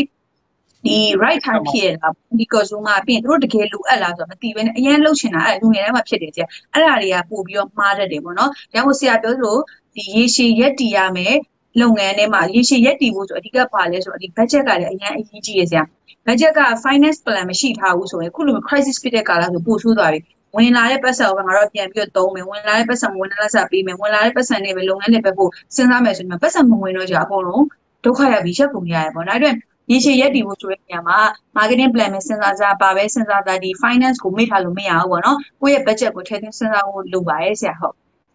ဟုတ်ကဲ့ပါမကေတော်တော်လေးပြည့်စုံပါတယ်ဆိုအားလုံးလည်းနားထောင်နေညီကောင်မအားလုံးလည်းဒါ lesson learn လည်းအများကြီးရမယ်ထင်ပါတယ်ဒါကျွန်တော်တို့ဟို finance ဆိုင်ထောင်ဖို့เนาะကျွန်တော်အယုတ်တီရောင်းမလို့ပဲသူ marketing ပေးလိုက်တဲ့ idea နဲ့ကျွန်တော်အခုထောင်မြင်ရာစွန့်နေအကုန်လုံးလုပ်လို့ရနေပြီ ဟုတ်တယ်ဆရာဆရာတို့ဆရာပြောသလိုလောဘလည်းခက်ကြီးကြီးရယ်အခုဒီ home stay မှာလည်းဘယ်လို plan တစ်ခုရေးနေပြီးသွားရင်နောက်တဲ့အလုပ်တစ်ခုလည်းလုပ်ချင်သေးတာဆရာအဲ့အဲ့လုပ်ချင်တဲ့အလုပ်ကတော့ရက်မှာမဟုတ်ကိုယ့်အကူပဲပေါ့နော်အာညင်အောင်လို့ရှိပြီးသားဟာလေးကြီးပွားလာအောင်လို့ပဲအခုတော့ focus လုပ်နေရတယ်ဆရာဟုတ် ဟုတ်ကဲ့ပါမကီအဲ့ဆိုအဲ့ဆိုလို့ရှိရင်ကျွန်တော်တို့ဒီ focus လေးကိုအခုအခု discussion focus ကိုကျွန်တော်တို့ဒီဘက်ဒီ crisis ဘက်ကိုပြန်ပြောင်းအောင်မကီဒါတော့ business idea အပိုင်းကိုကျွန်တော်သွားတဲ့အချိန်မှာအခုအချိန်မှာရော business idea အတိထုတ်လို့ရသေးလားဒါမှမဟုတ်ရှင်အားလုံးထိုင်ဆောင်နေရမယ့်အချိန်မျိုးလားမကီအာထိုင်ဆောင်နေရဆိုရင်ပေါ့ဆရာဒါမမြင်ရအရာကြီးဆိုတော့ကံကိုယုံပြီးစုပုံနေလို့လည်းမရဘူးပေါ့နော်ဆရာဟိုထိုင်ဆောင်နေပြီးတော့မှဟိုအကောင်းကြီးဖြစ်သွားမယ်လို့ပြောလို့မရဘူးဘာလို့လဲဆိုတော့စီးပွားရေးတစ်ခုက ဒီလိုမျိုးတက်တဲ့သွားနေရနေကြာသွားပြီးဆိုရင်အရင်နေရာပြန်ရောက်ဖို့တက်ဖို့ဆိုတော့တော်တော်ကြာရဲကြာအဲကြတော့ကိုကဒီတက်တဲ့အခါမှာလဲစူးစမ်းပန်းစားလဲတက်ရအောင်မယ်ထိုင်ဆောင်နေမယ်ဆိုပို့ပြီးတော့ကြာမယ်ပေါ့အဲ့တော့အရင်ဆုံးကြိုတင်ပြင်ဆင်ထားဖို့တော့လိုရဲကြာအိုင်ဒီယာတစ်ထုတ်ဖို့ကောင်းတဲ့အချိန်ဟုတ်သလားမဟုတ်ဘူးသလားဆိုတဲ့နေရာမှာလုပ်ငန်းအမျိုးအစားပေါ်တော့မူတည်ရဲပေါ့နော်ဒီလိုမျိုး crisis ဖြစ်နေတဲ့အချိန်မှာတော့တေးကြတယ်ဒီလူလူချင်းထိတွေ့တဲ့လုပ်ငန်းတွေကတော့အဆင်ပြေသေးမှာမဟုတ်ဘာကြောင့်သူ့ရဲ့ယောဂပေါ့လူလူချင်းထိတွေ့လို့မရဘူးပေါ့နော်အဲကြတော့ ဒီစပင်ညက်ဆိုင်တို့ spa တို့အစရှိတဲ့လုပ်ငန်းတွေကရက်တက်နေမယ်ပေါ့နော်အဲကျတော့အဲ့ဒီလုပ်ငန်းတွေရက်တက်နေလို့ကိုကမလုပ်တော့ဘူးလားအဲ့လိုလည်းမဟုတ်ကိုကတကယ်လို့ spa ဆိုရင်ဘာလုပ်မလဲကိုရဲ့ spa product တွေကို online မှာတင်ပြီးရောင်းပါလားအဲဒါမျိုးပေါ့နော်ဆရာအဓိကတော့ business idea အတစ်ခုထုတ်တယ်မထုတ်ဘူးဆိုရင်ဒီမှာခုန sharing လုပ်သွားသလိုပဲ problem solving ပေါ့လက်ရှိဒီလူတွေဘာတွေကြုံတွေ့နေရတယ်အဲ့ဒီပြဿနာကိုဖြေရှင်းပေးမယ်လက်ရှိလူတွေဘာလိုနေလဲဆိုတော့စဉ်းစားပြီးတော့ဖြေရှင်းသွားမယ်ဆိုရင်တော့ဒီလုပ်ငန်းအောင်မြင်ပါပဲထိုင်ဆောင်နေတာတော့အာမပေးဘူးဆိုတာတစ်ခုပြီးတစ်ခုတော့ ဒီပြဿနာကိုဘယ်လိုဖြေရှင်းမလဲပေါ့နော်ဟိုဆိုစဉ်းစားထားဖို့လိုတယ်အဲ့လိုမှမဟုတ်ဘူးဒီပြဿနာကြီးကထိုင်ဆောင်နေတယ်ဆိုတာဒီပြဿနာကြီးကတော့ကောင်းတော့မှမဟုတ်ဘူးရှိနေမှာအဲ့ထိုင်ဆောင်နေကြာနေမဲ့တူတူကိုကရင်ဆိုင်တွေ့ပြီးတော့ဘယ်လိုဖြေရှင်းမလဲဆိုတော့အကောင်းဆုံးနည်းလမ်းဖြစ်ပါတယ်ဆက်ဒီချိန်မှာဟုတ်ကြဖြစ်ပါမကြီးဒါဆိုလို့ရှိရင်ဒီချိန်မှာသူတို့ထိုင်ဆောင်မနေတင်ဘူးဆက်ပြီးဖြည့်ရှင်းနေတယ်ဆိုလို့ရှိရင်ခုနလိုဟိုဟို basic idea အနေနဲ့သူတို့စဉ်းစားမယ့်ဟာကမှဘလို့ basic idea မျိုးဟာဒီချိန်မှာပို့ပြီးတော့ကောင်းနိုင်တယ်ခုနလိုလူနဲ့ထိတွေ့တာမဟုတ်ဘဲနဲ့တခြားဘာတွေလုပ်နိုင်သေးလဲမကြီး อืมဆရာအခုကတော့ဗောနော်လောလောဆယ်ဘာပြင်ကြည့်ရမလဲလောလောဆယ်ကိုယ်အိမ်မှာလူ၁၀ယောက်ရှိရဲဆိုတာအဲ့လူ၁၀ယောက်ကဘာလုပ်နေနေပေါ့ဆရာသိလားအခုဆိုအိမ်မှာဆိုတိန်လုံးစကားပြောရင်တော့ messenger ပဲပြောကြရဆရာထမင်းစားကြမယ်အဲ့ကြတော့ဒီ online ကပေါ့နော်တော်တော်လေးကိုအလုပ်လေးဖြစ်နေရပါတော့ပြီးဘေးအိမ်နေအကြည့်ကြည့်ကိုညီမရဲ့ကိုတငယ်ချင်းတွေဒီကျမတို့ဆိုလဲဆရာရဲ့အခု group တစ်ခုမှတွေ့ရဆို share လုပ်ရတယ်ဆိုဘာလို့တငယ်ချင်းတွေနဲ့ group မှာ share ကြရဆရာ messenger group တွေပါတယ်ပေါ့နော်အဲ့တော့ဒီ Facebook ကတော့ဒီ digital ကတော့ပြောင်းဖို့ပြောင်းမှာဆရာ digital က ဒီဆရာလည်းဒီ online entrepreneur တယောက်အနေနဲ့ပေါ့နော်။ဘာကြောင့်လဲဆိုတော့ဒီလုပ်ငန်းကဒီ crisis မဖြစ်လဲပြောင်းရမှာဒါပေမဲ့လူတော်တော်များများလုပ်ငန်းရှင်တော်တော်များဒီတိုင်းလေးအဆင်ပြေနေတာပဲဆိုပြီးမပြောင်းမနဲ့ညီကြတဲ့ဟာကြီးအခုထိတွေ့လာချင်မဘိုးဆိုပြောင်းရမယ်ဖြစ်တော့ဘာလို့မှမသိဖြစ်ကုန်တာအများစုอ่ะပေါ့နော်အဲကြတော့ကိုယ့်အနေနဲ့အကြံပေးချင်တာမဟုတ်လေဒါကြီးကပြောင်းအောင်မှာစရမယ်ဒီလိုခုကတည်းကဘယ်လိုစရမလဲနီးလန်းရှာထားဖို့အရေးကြီးရပေါ့နော်ကိုယ့်အနေနဲ့ဒီကလို့ဒီ ကိုယ်တိုင်မလုပ်တတ်သေးဘူးဆိုလဲအခုဆိုရင်ဒီ online ကနေပြီးဝန်ဆောင်မှုပေးနေကုမ္ပဏီအများကြီးရှိရယ်မတက်နိုင်အောင်ဒီချိန်မှာတော့ပတ်စံပေးခြင်းနဲ့ကိုမတက်သေးဒီကုမ္ပဏီတွေကိုဝန်ဆောင်မှုပေးပြီးတော့စပြီးလှုပ်ရှားရမယ်ပေါ့နော်အဲ့ဒါဒီဆရာပြောသလိုမျိုးဘယ်လိုဖြည့်ရှင်းရမလဲဘာတွေလုပ်ရမလဲဆိုတဲ့နေရာမှာလက်ရှိကိုနဲ့ပတ်သက်တဲ့လုပ်ငန်းကိုနဲ့ပတ်သက်တဲ့ပစ္စည်းတွေလူတွေဘယ်လိုသုံးနေလဲအဲ့ဒီလူတွေကိုဘယ်လိုရောင်းလို့ရမလဲအခုဒီကျမတို့ပစ္စည်းတွေဆိုလဲဒါနေ့တူကသုံးတဲ့ပစ္စည်းမဟုတ်ဘူးဒါပေမဲ့ကျင်ညာတိုင်းမှာ online delivery ဖုန်းနဲ့ appointment ယူလို့ရပါတယ်အိမ်နယ်ရောက်ဆင်ပေးပါတယ်ထည့်ပြီးပေးတဲ့အခါကျတော့အခုချိန်မှာဘယ်သူမှအိမ်နယ်ရောက်လိုက်မလုပ်ပေးအောင်မအရေးကြီးတဲ့လူကျတော့ဆရာဖုန်းဆက်ပြီးဝယ်တာမျိုးအိမ်နယ်ရောက်ဆင်ပေးရမျိုးရှိရပေါ့နော်ဒါအခုဆိုလွန်ခဲ့တဲ့နှစ်ရက်ကလည်းအဲ့လိုပဲဒီမင်္ဂလာဆောင်မဲ့အဲအတွဲလေးတွေပေါ့နော်ဒါအခုသူတို့ဒီကာလကြောင့်ဆိုင်းငံ့ထားတယ်ဒါပေမဲ့အိမ်မှာပစ္စည်းတွေလူတော့လိုပဲ Facebook ကနေပဲရောင်းပြီးသူတို့အိမ်ကိုသွားဆင်ပေးရဒါမျိုးပေါ့နော်ဆရာဘာမှမလုပ်ပဲထိုင်နေတော့သိကြရဆရာ ဝင်ငွေတပြားမှရမှာမဟုတ်ဘူးအရင်လိုမျိုးဝင်ငွေကဝုန်းဆိုအများကြီးရချင်မှရမယ်တခုခုလုပ်နေသေးကြတယ်နည်းနည်းပဲဖြစ်ဖြစ်ဝင်ငွေလေးကဝင်လာလိမ့်မယ်အဲ့ဒီဝင်ငွေကနေပြီးတော့လုပ်ငန်းရှေ့ဆက်လို့ရမယ်ပေါ့နော်ဆရာအဲ့တော့ခုချိန်မှာတော့ဒီ customer ဘာလို့အဲ့လဲဆိုတော့ကြည့်ပြီးကိုယ့်ရဲ့လုပ်ငန်း idea အသစ်တွေစဉ်းစားဖို့လိုအပ်ပါအဲ့ဆရာ ဟုတ်ကဲ့ပါမကီကျေးဇူးအများကြီးတင်ပါတယ်အဲကျွန်တော်ဒါကျွန်တော်မေးတဲ့မေးခွန်းလေးကျွန်တော်ခဏလေး short ပြီးတော့ဗောလေဟိုအောက်မှာမေးတဲ့မေးခွန်းလေးလေးကျွန်တော်စပြီးတော့အချိန်လေးပေးပါမယ် so မေးမေးခွန်းလေးအရင်ဦးဦးစပြီးတော့မေးတဲ့မေးခွန်းလေးဗောတကယ်လို့ကျွန်တော် comment ကြော်သွားလို့ရှိရင်စိတ်မရှိပါနဲ့တကယ်လို့ကို comment ကြော်သွားဆိုအောက်မှာ comment လေးပြန်ပေးလို့ရပါတယ်တခါကျလို့ရှိရင်ကျွန်တော် comment ပေးတာအရင်များတဲ့အတွက်ကြောင့်ကျွန်တော်ပေါ်ရောက်သွားရှိတယ်ဆိုရှင် live ကြည့်တာ300ကျော်လောက်ရှိရမကေဒါညနေကြလို့ရှိရင်ဒါ1000ထက်ကျော်သွားလိမ့်မယ်ဟုတ်ကဲ့ဆရာဟုတ်ဒီချိန်မှာလည်း share ပေးထားရဆရာဟုတ် ဟုတ်ကဲ့ပါမကေကျေးဇူးပါမဆန်းကြီးကုဆန်းကြီးလားမဆန်းမဆန်းကြီးဖြစ်မယ်နော်မဆန်းကြီးမေးထားပါတယ်မကေကိုယ်တိုင်မလုံနိုင်တဲ့လုပ်ငန်းတွေကိုဘယ်လိုစီမံအုပ်ချုပ်ရမလဲသိချင်ပါတယ် อืมကိုယ်တိုင်မလုပ်နိုင်တဲ့လုပ်ငန်းဆိုတာဆရာကိုလိုဘာလုပ်ငန်းကိုပြောတာလဲပေါ့နော်ဥပမာကိုယ့်ရဲ့လုပ်ငန်းမှာကိုကကွန်ပျူတာအကောင့်တန်းကိုထားခြင်းလို့ကွန်ပျူတာကိုကမရိုက်တက်လို့လားအဲ့ဒါမျိုးပေါ့နော်ဒါမှမဟုတ်ကိုကအဲ့လိုမျိုး online ကနေဈေးစာရောင်းခြင်းနဲ့ဈေးမြောင်းတက်လို့လားပေါ့နော်ဘယ်လိုအုပ်ချုပ်ရမလဲဆိုတဲ့နေရာမှာအဓိကကတော့ပေါ့နော်ကိုကိုယ်တိုင်ကအဆအဆုံးကိုသိစရာတော့မလိုပေမဲ့ကိုဘာလိုချင်လဲဆိုတော့သိဖို့တော့လိုတယ်။ဘာကြောင့်လဲဆိုတော့တစ်ခါတည်းမှာဘာဖြစ်တယ်လဲဆိုတော့ တချို့ဒီ technician သမားတွေတချို့ဝန်ထမ်းတွေပေါ့နော်တထေးကဘာလို့ခြင်းမှမသိဘူးသူကဘာလို့ဘူးသူကတက်တော်တက်တယ်ဆရာအဲ့လိုမျိုးအရန်ကြုံတွေ့ရတယ်ကဲအရန်တော်တဲ့လူတွေကျုပ်ကုမ္ပဏီမှာခံထားတယ်သူကအရန်တော်တယ်နော်သူ idea ကြီးရှိတယ်ဒါပေမဲ့သူ့ရဲ့ idea ကိုဒီတထေးအနေနဲ့ကသူလှုပ်ချင်တဲ့အရာကိုတထေးကိုလည်းနားမလဲဘူးတထေးကလည်းသူဘာတက်မှန်းမသိရော link မချိန်မိကြဘူးပေါ့နော်အဲ့တော့ကိုယ့်အနေနဲ့ကဘာလဲဆိုတော့ကိုမကျွမ်းကျင်တဲ့အလုပ်ကိုဘယ်လိုအုပ်ချုပ်မလဲဆိုရင်ဒီမှာကိုဘာဖြစ်ရှင်တာလဲဆိုရင်ရလက်ကိုအရင်တော့သိဖို့လိုတယ်အဲ့ဒါကြောင့်မှကိုက ဖြတ်ထားတဲ့လူကဘာလုပ်ပေးရမလဲဆိုတာသိမှာဥပမာကိုကဈေးမြောင်းတဲ့ဘွယ်စားပါတော့နမူနာအဖြစ် okay ကိုပစ္စည်းတစ်ခုထုတ်ချင်တယ်အဲ့မှာကိုရဲ့အကြောင်းတာဝန်နဲ့နေရှိမယ်ဒီပစ္စည်းကိုငါရောင်းအားတက်ချင်တယ်ဘယ်လိုလုပ်ရမလဲသူတို့ရှေ့အကြံတွေပြန်ယူရမယ်ပြီးရင်နံပါတ်1ကဘာလို့မလဲသူတို့ supporting ပြန်ပေးရဘာ supporting လဲ okay ကျမတို့ team ကတော့ဒီတထေးလိုချင်တဲ့အတိုင်းရောင်းအားတက်အောင်လုပ်ပေးမယ်ဒါပေမဲ့ကျမတို့ဘာတွေလိုလဲဥပမာ marketing ထွက်ဖို့ ဆိုင်ငယ်လိုချင်လိုမယ်စီလိုချင်လိုမကားလိုချင်လိုမတယ်လီဖုန်းလိုချင်လိုမယ်အဲ့ဒီအရာတွေ supporting ပြန်လုပ်ပြီးလို့လုပ်ရပေါ့နော်ပြီးရင်နံပါတ်3ချက်ကဘာလို့ရမလဲဆိုတော့သူတို့ရဲ့တကယ်လှုပ်ဆောင်ချက်က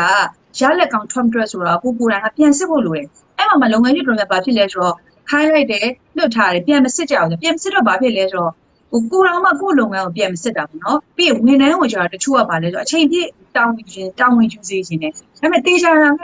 ကိုကိုလည်းကို့အလုပ်ပေါ်မှာတောင်းဝင်မှုပေါ်လာတယ်ဝန်ထမ်းဆိုရင်တောင်းဝင်မှုပေါ်လာမှာအဲ့တော့ကို့အနေနဲ့ကလည်းနံပါတ်3ချက်ဖြစ်တယ်ပြန်ပြန်ပြီးတော့စစ်ဖို့တော့လိုအပ်တယ်ပေါ့နော်အဲ့ဒီ3ချက်ကိုသာလက်ကင်ထားမယ်ဆိုတော့ကိုမတက်တဲ့အလုပ်ဘာလုပ်ပဲဖြစ်ဖြစ်ဒါသူတို့တာဝန်ပေးလို့ရတယ်။ဘာလဲဆိုတော့နံပါတ်1ကအဲသူတို့ရှိသူတို့ကိုဘာလုပ်ချင်လဲဆိုတော့ကိုယ့်ရဲ့လုပ်ချင်တဲ့ရလက်ကိုထွက်စေမယ်။ဟုတ်တယ်နံပါတ်2ကကြာသူတို့ရှိအကြံနေတာမှသူတို့နေပေးမယ်။နံပါတ်3ကတော့ဘာလို့လဲပြန်စစ်ရမယ်ဆိုတော့သူတို့ဒီကစစ်တဲ့ ပုံမှာလည်းမယုံကြည်မယုံမယုံလို့စစ်တာမျိုးမဟုတ်ဘူး။ယုံကြည်မှုနဲ့စစ်ရမယ်ဆိုတော့နောက်တစ်ခုကခုနကပြောတဲ့ mutual respect တကယ်ကြောင့်ယုံကြည်ဖို့ကအရင်အရေးကြီးတယ်။တချို့ဆိုရင်ဝန်ထမ်းကိုခိုင်းတော့ခိုင်းတယ်မယုံသလိုစစ်တာမျိုးတေးကြအဲ့ဆိုသူကကိုယ့်ရဲ့လုပ်ငန်းမှာစေတနာပါမဟုတ်တော့ဘူးเนาะ။ဆရာအဲ့တော့ဒီသုံးချက်ကိုလက်ကင်ထားနေဆိုရင်တော့ဘယ်လိုနည်းပညာပဲဖြစ်ဖြစ်ကိုမတွက်ချင်တဲ့အရာမျိုးမှလည်းတာဝန်ပေးလို့ရပါတယ်ဆရာဟုတ်။ဟုတ်ကဲ့ပါမကေကျေးဇူးအများကြီးတင်ပါတယ်။အဲကိုလကပါမိထားပါတယ်။ အဲဆရာဆရာမတဲ့တိုင်းရင်းစီးထုတ်လို့ရေးအတွက်အကြံလေးကူညီပေးပါဦးတဲ့ဟုတ်ကဲ့ဆရာတိုင်းရင်းစီထုတ်လို့ရေးဆိုတော့ပေါ့နော်အမျိုးမျိုးရှိဆရာဘယ်အပိုင်းကိုအကြံပေးညာလဲဆိုတာလေးပေါ့ဆရာချက် mention လုပ်ဖို့လိုမယ်ပေါ့နော်ဥပမာတိုင်းရင်းစီထုတ်လို့လေဆရာရောင်းအကြောင်းနေရောင်းအတက်ချင်တာလားအဲဒါမှမဟုတ်ဆရာအနေနဲ့နေတွေပို့ဖို့အခက်ခဲရှိနေတယ်ဘာအခက်ခဲလဲပေါ့တိုင်းရင်းစီဆိုတော့ဆရာဗမာပြည်မှာတော့နေအများစုမှာတုံးကြရပေါ့နော်တတိထားမိသလောက် အဥမာရုပ်ပြိုးတို့ဘယင်တို့အစရှိတဲ့ပြင်ထုံးရှည်ပါပေါ့နော်အဲ့တော့ဆရာတို့အနေနဲ့ကတိုင်းရင်းစီဆိုရင်တော့ဒီကျမရဲ့အမြင်ပေါ့ဆရာတို့ကတော့ဒီတကယ်လုံးနေပို့ပြီးသိမယ်ဒါပေမဲ့ကျမအမြင်ကဘာမြင်လဲဆိုတော့ distribution ဖြန့်ချီကိုပို့ပြီးတော့အားကိုးရမယ်လို့ထင်ပါတယ်ဆရာအဲ့တော့ကိုယ်အနေနဲ့ကပေါ့နော်ကုံစုံဆိုင်အကြီးမှတင်တာတဲ့ဗမာပြည်မှာကုံစုံဆိုင်အသေးလေးဆိုတာအများကြီးပဲအဲ့တော့ကုံစုံဆိုင်အသေးလေးတွေမှာကိုယ်ကဒီပစ္စည်းကိုရအောင်ထားရမယ်နံပါတ်1 ပြင်နံပါတ်2အနေနဲ့ poster ပေါ့ poster ဆိုတာပါလဲဆိုတော့ဒီကုံစုံဆိုင်လေးမှာဒီ A4 တစ်စာလောက်ရှိရဲ့ poster လေးကိုကပ်ပေးထားတာမျိုးပေါ့နော်ပြီးဒီပစ္စည်းကဘယ်လိုမျိုးအသုံးဝင်လဲဘယ်လိုရလက်ရှိတယ်ဆိုတာမျိုးအသုံးပြုနိုင်တယ်ဆိုရင်တော့ဆရာအနေနဲ့ပုံရောင်းအောင်ကလည်းတခါတည်းမှာလုပ်ငန်းရှင်တွေကဘာဖြစ်လဲဆိုတော့ marketing ကို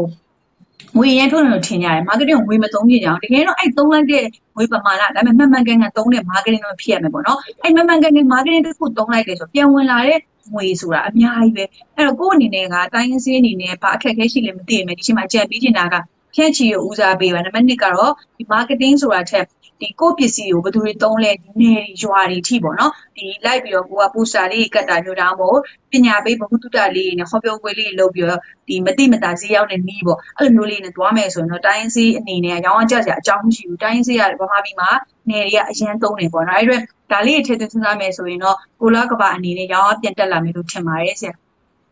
ဟုတ်ကဲ့ပါမကေကျေးဇူးအများကြီးတင်ပါတယ် မနှင်းဝေလင်မိထားပါတယ်မကေတနိုင်တပိုင်းထုတ်တဲ့လုပ်ငန်းတွေတဲ့ဈေးကွက်ထိုးဖောက်ရခက်ပါတယ်ဆရာမတဲ့ဆိုတော့တနိုင်တပိုင်းလုပ်ငန်းတွေကုမ္ပဏီထောင်မယ်ဆိုရင်ကုမ္ပဏီတွေရဲ့အားနည်းချက်အားသာချက်လေးတွေလည်းပြပြပေးပါအောင်တဲ့မကီကဒီကုမ္ပဏီလေးရှိရဲတနိုင်တပိုင်းလုပ်ငန်းလေးစောက်ထောင်ပြီးတဲ့အတွက်ကြောင့်ပါอืม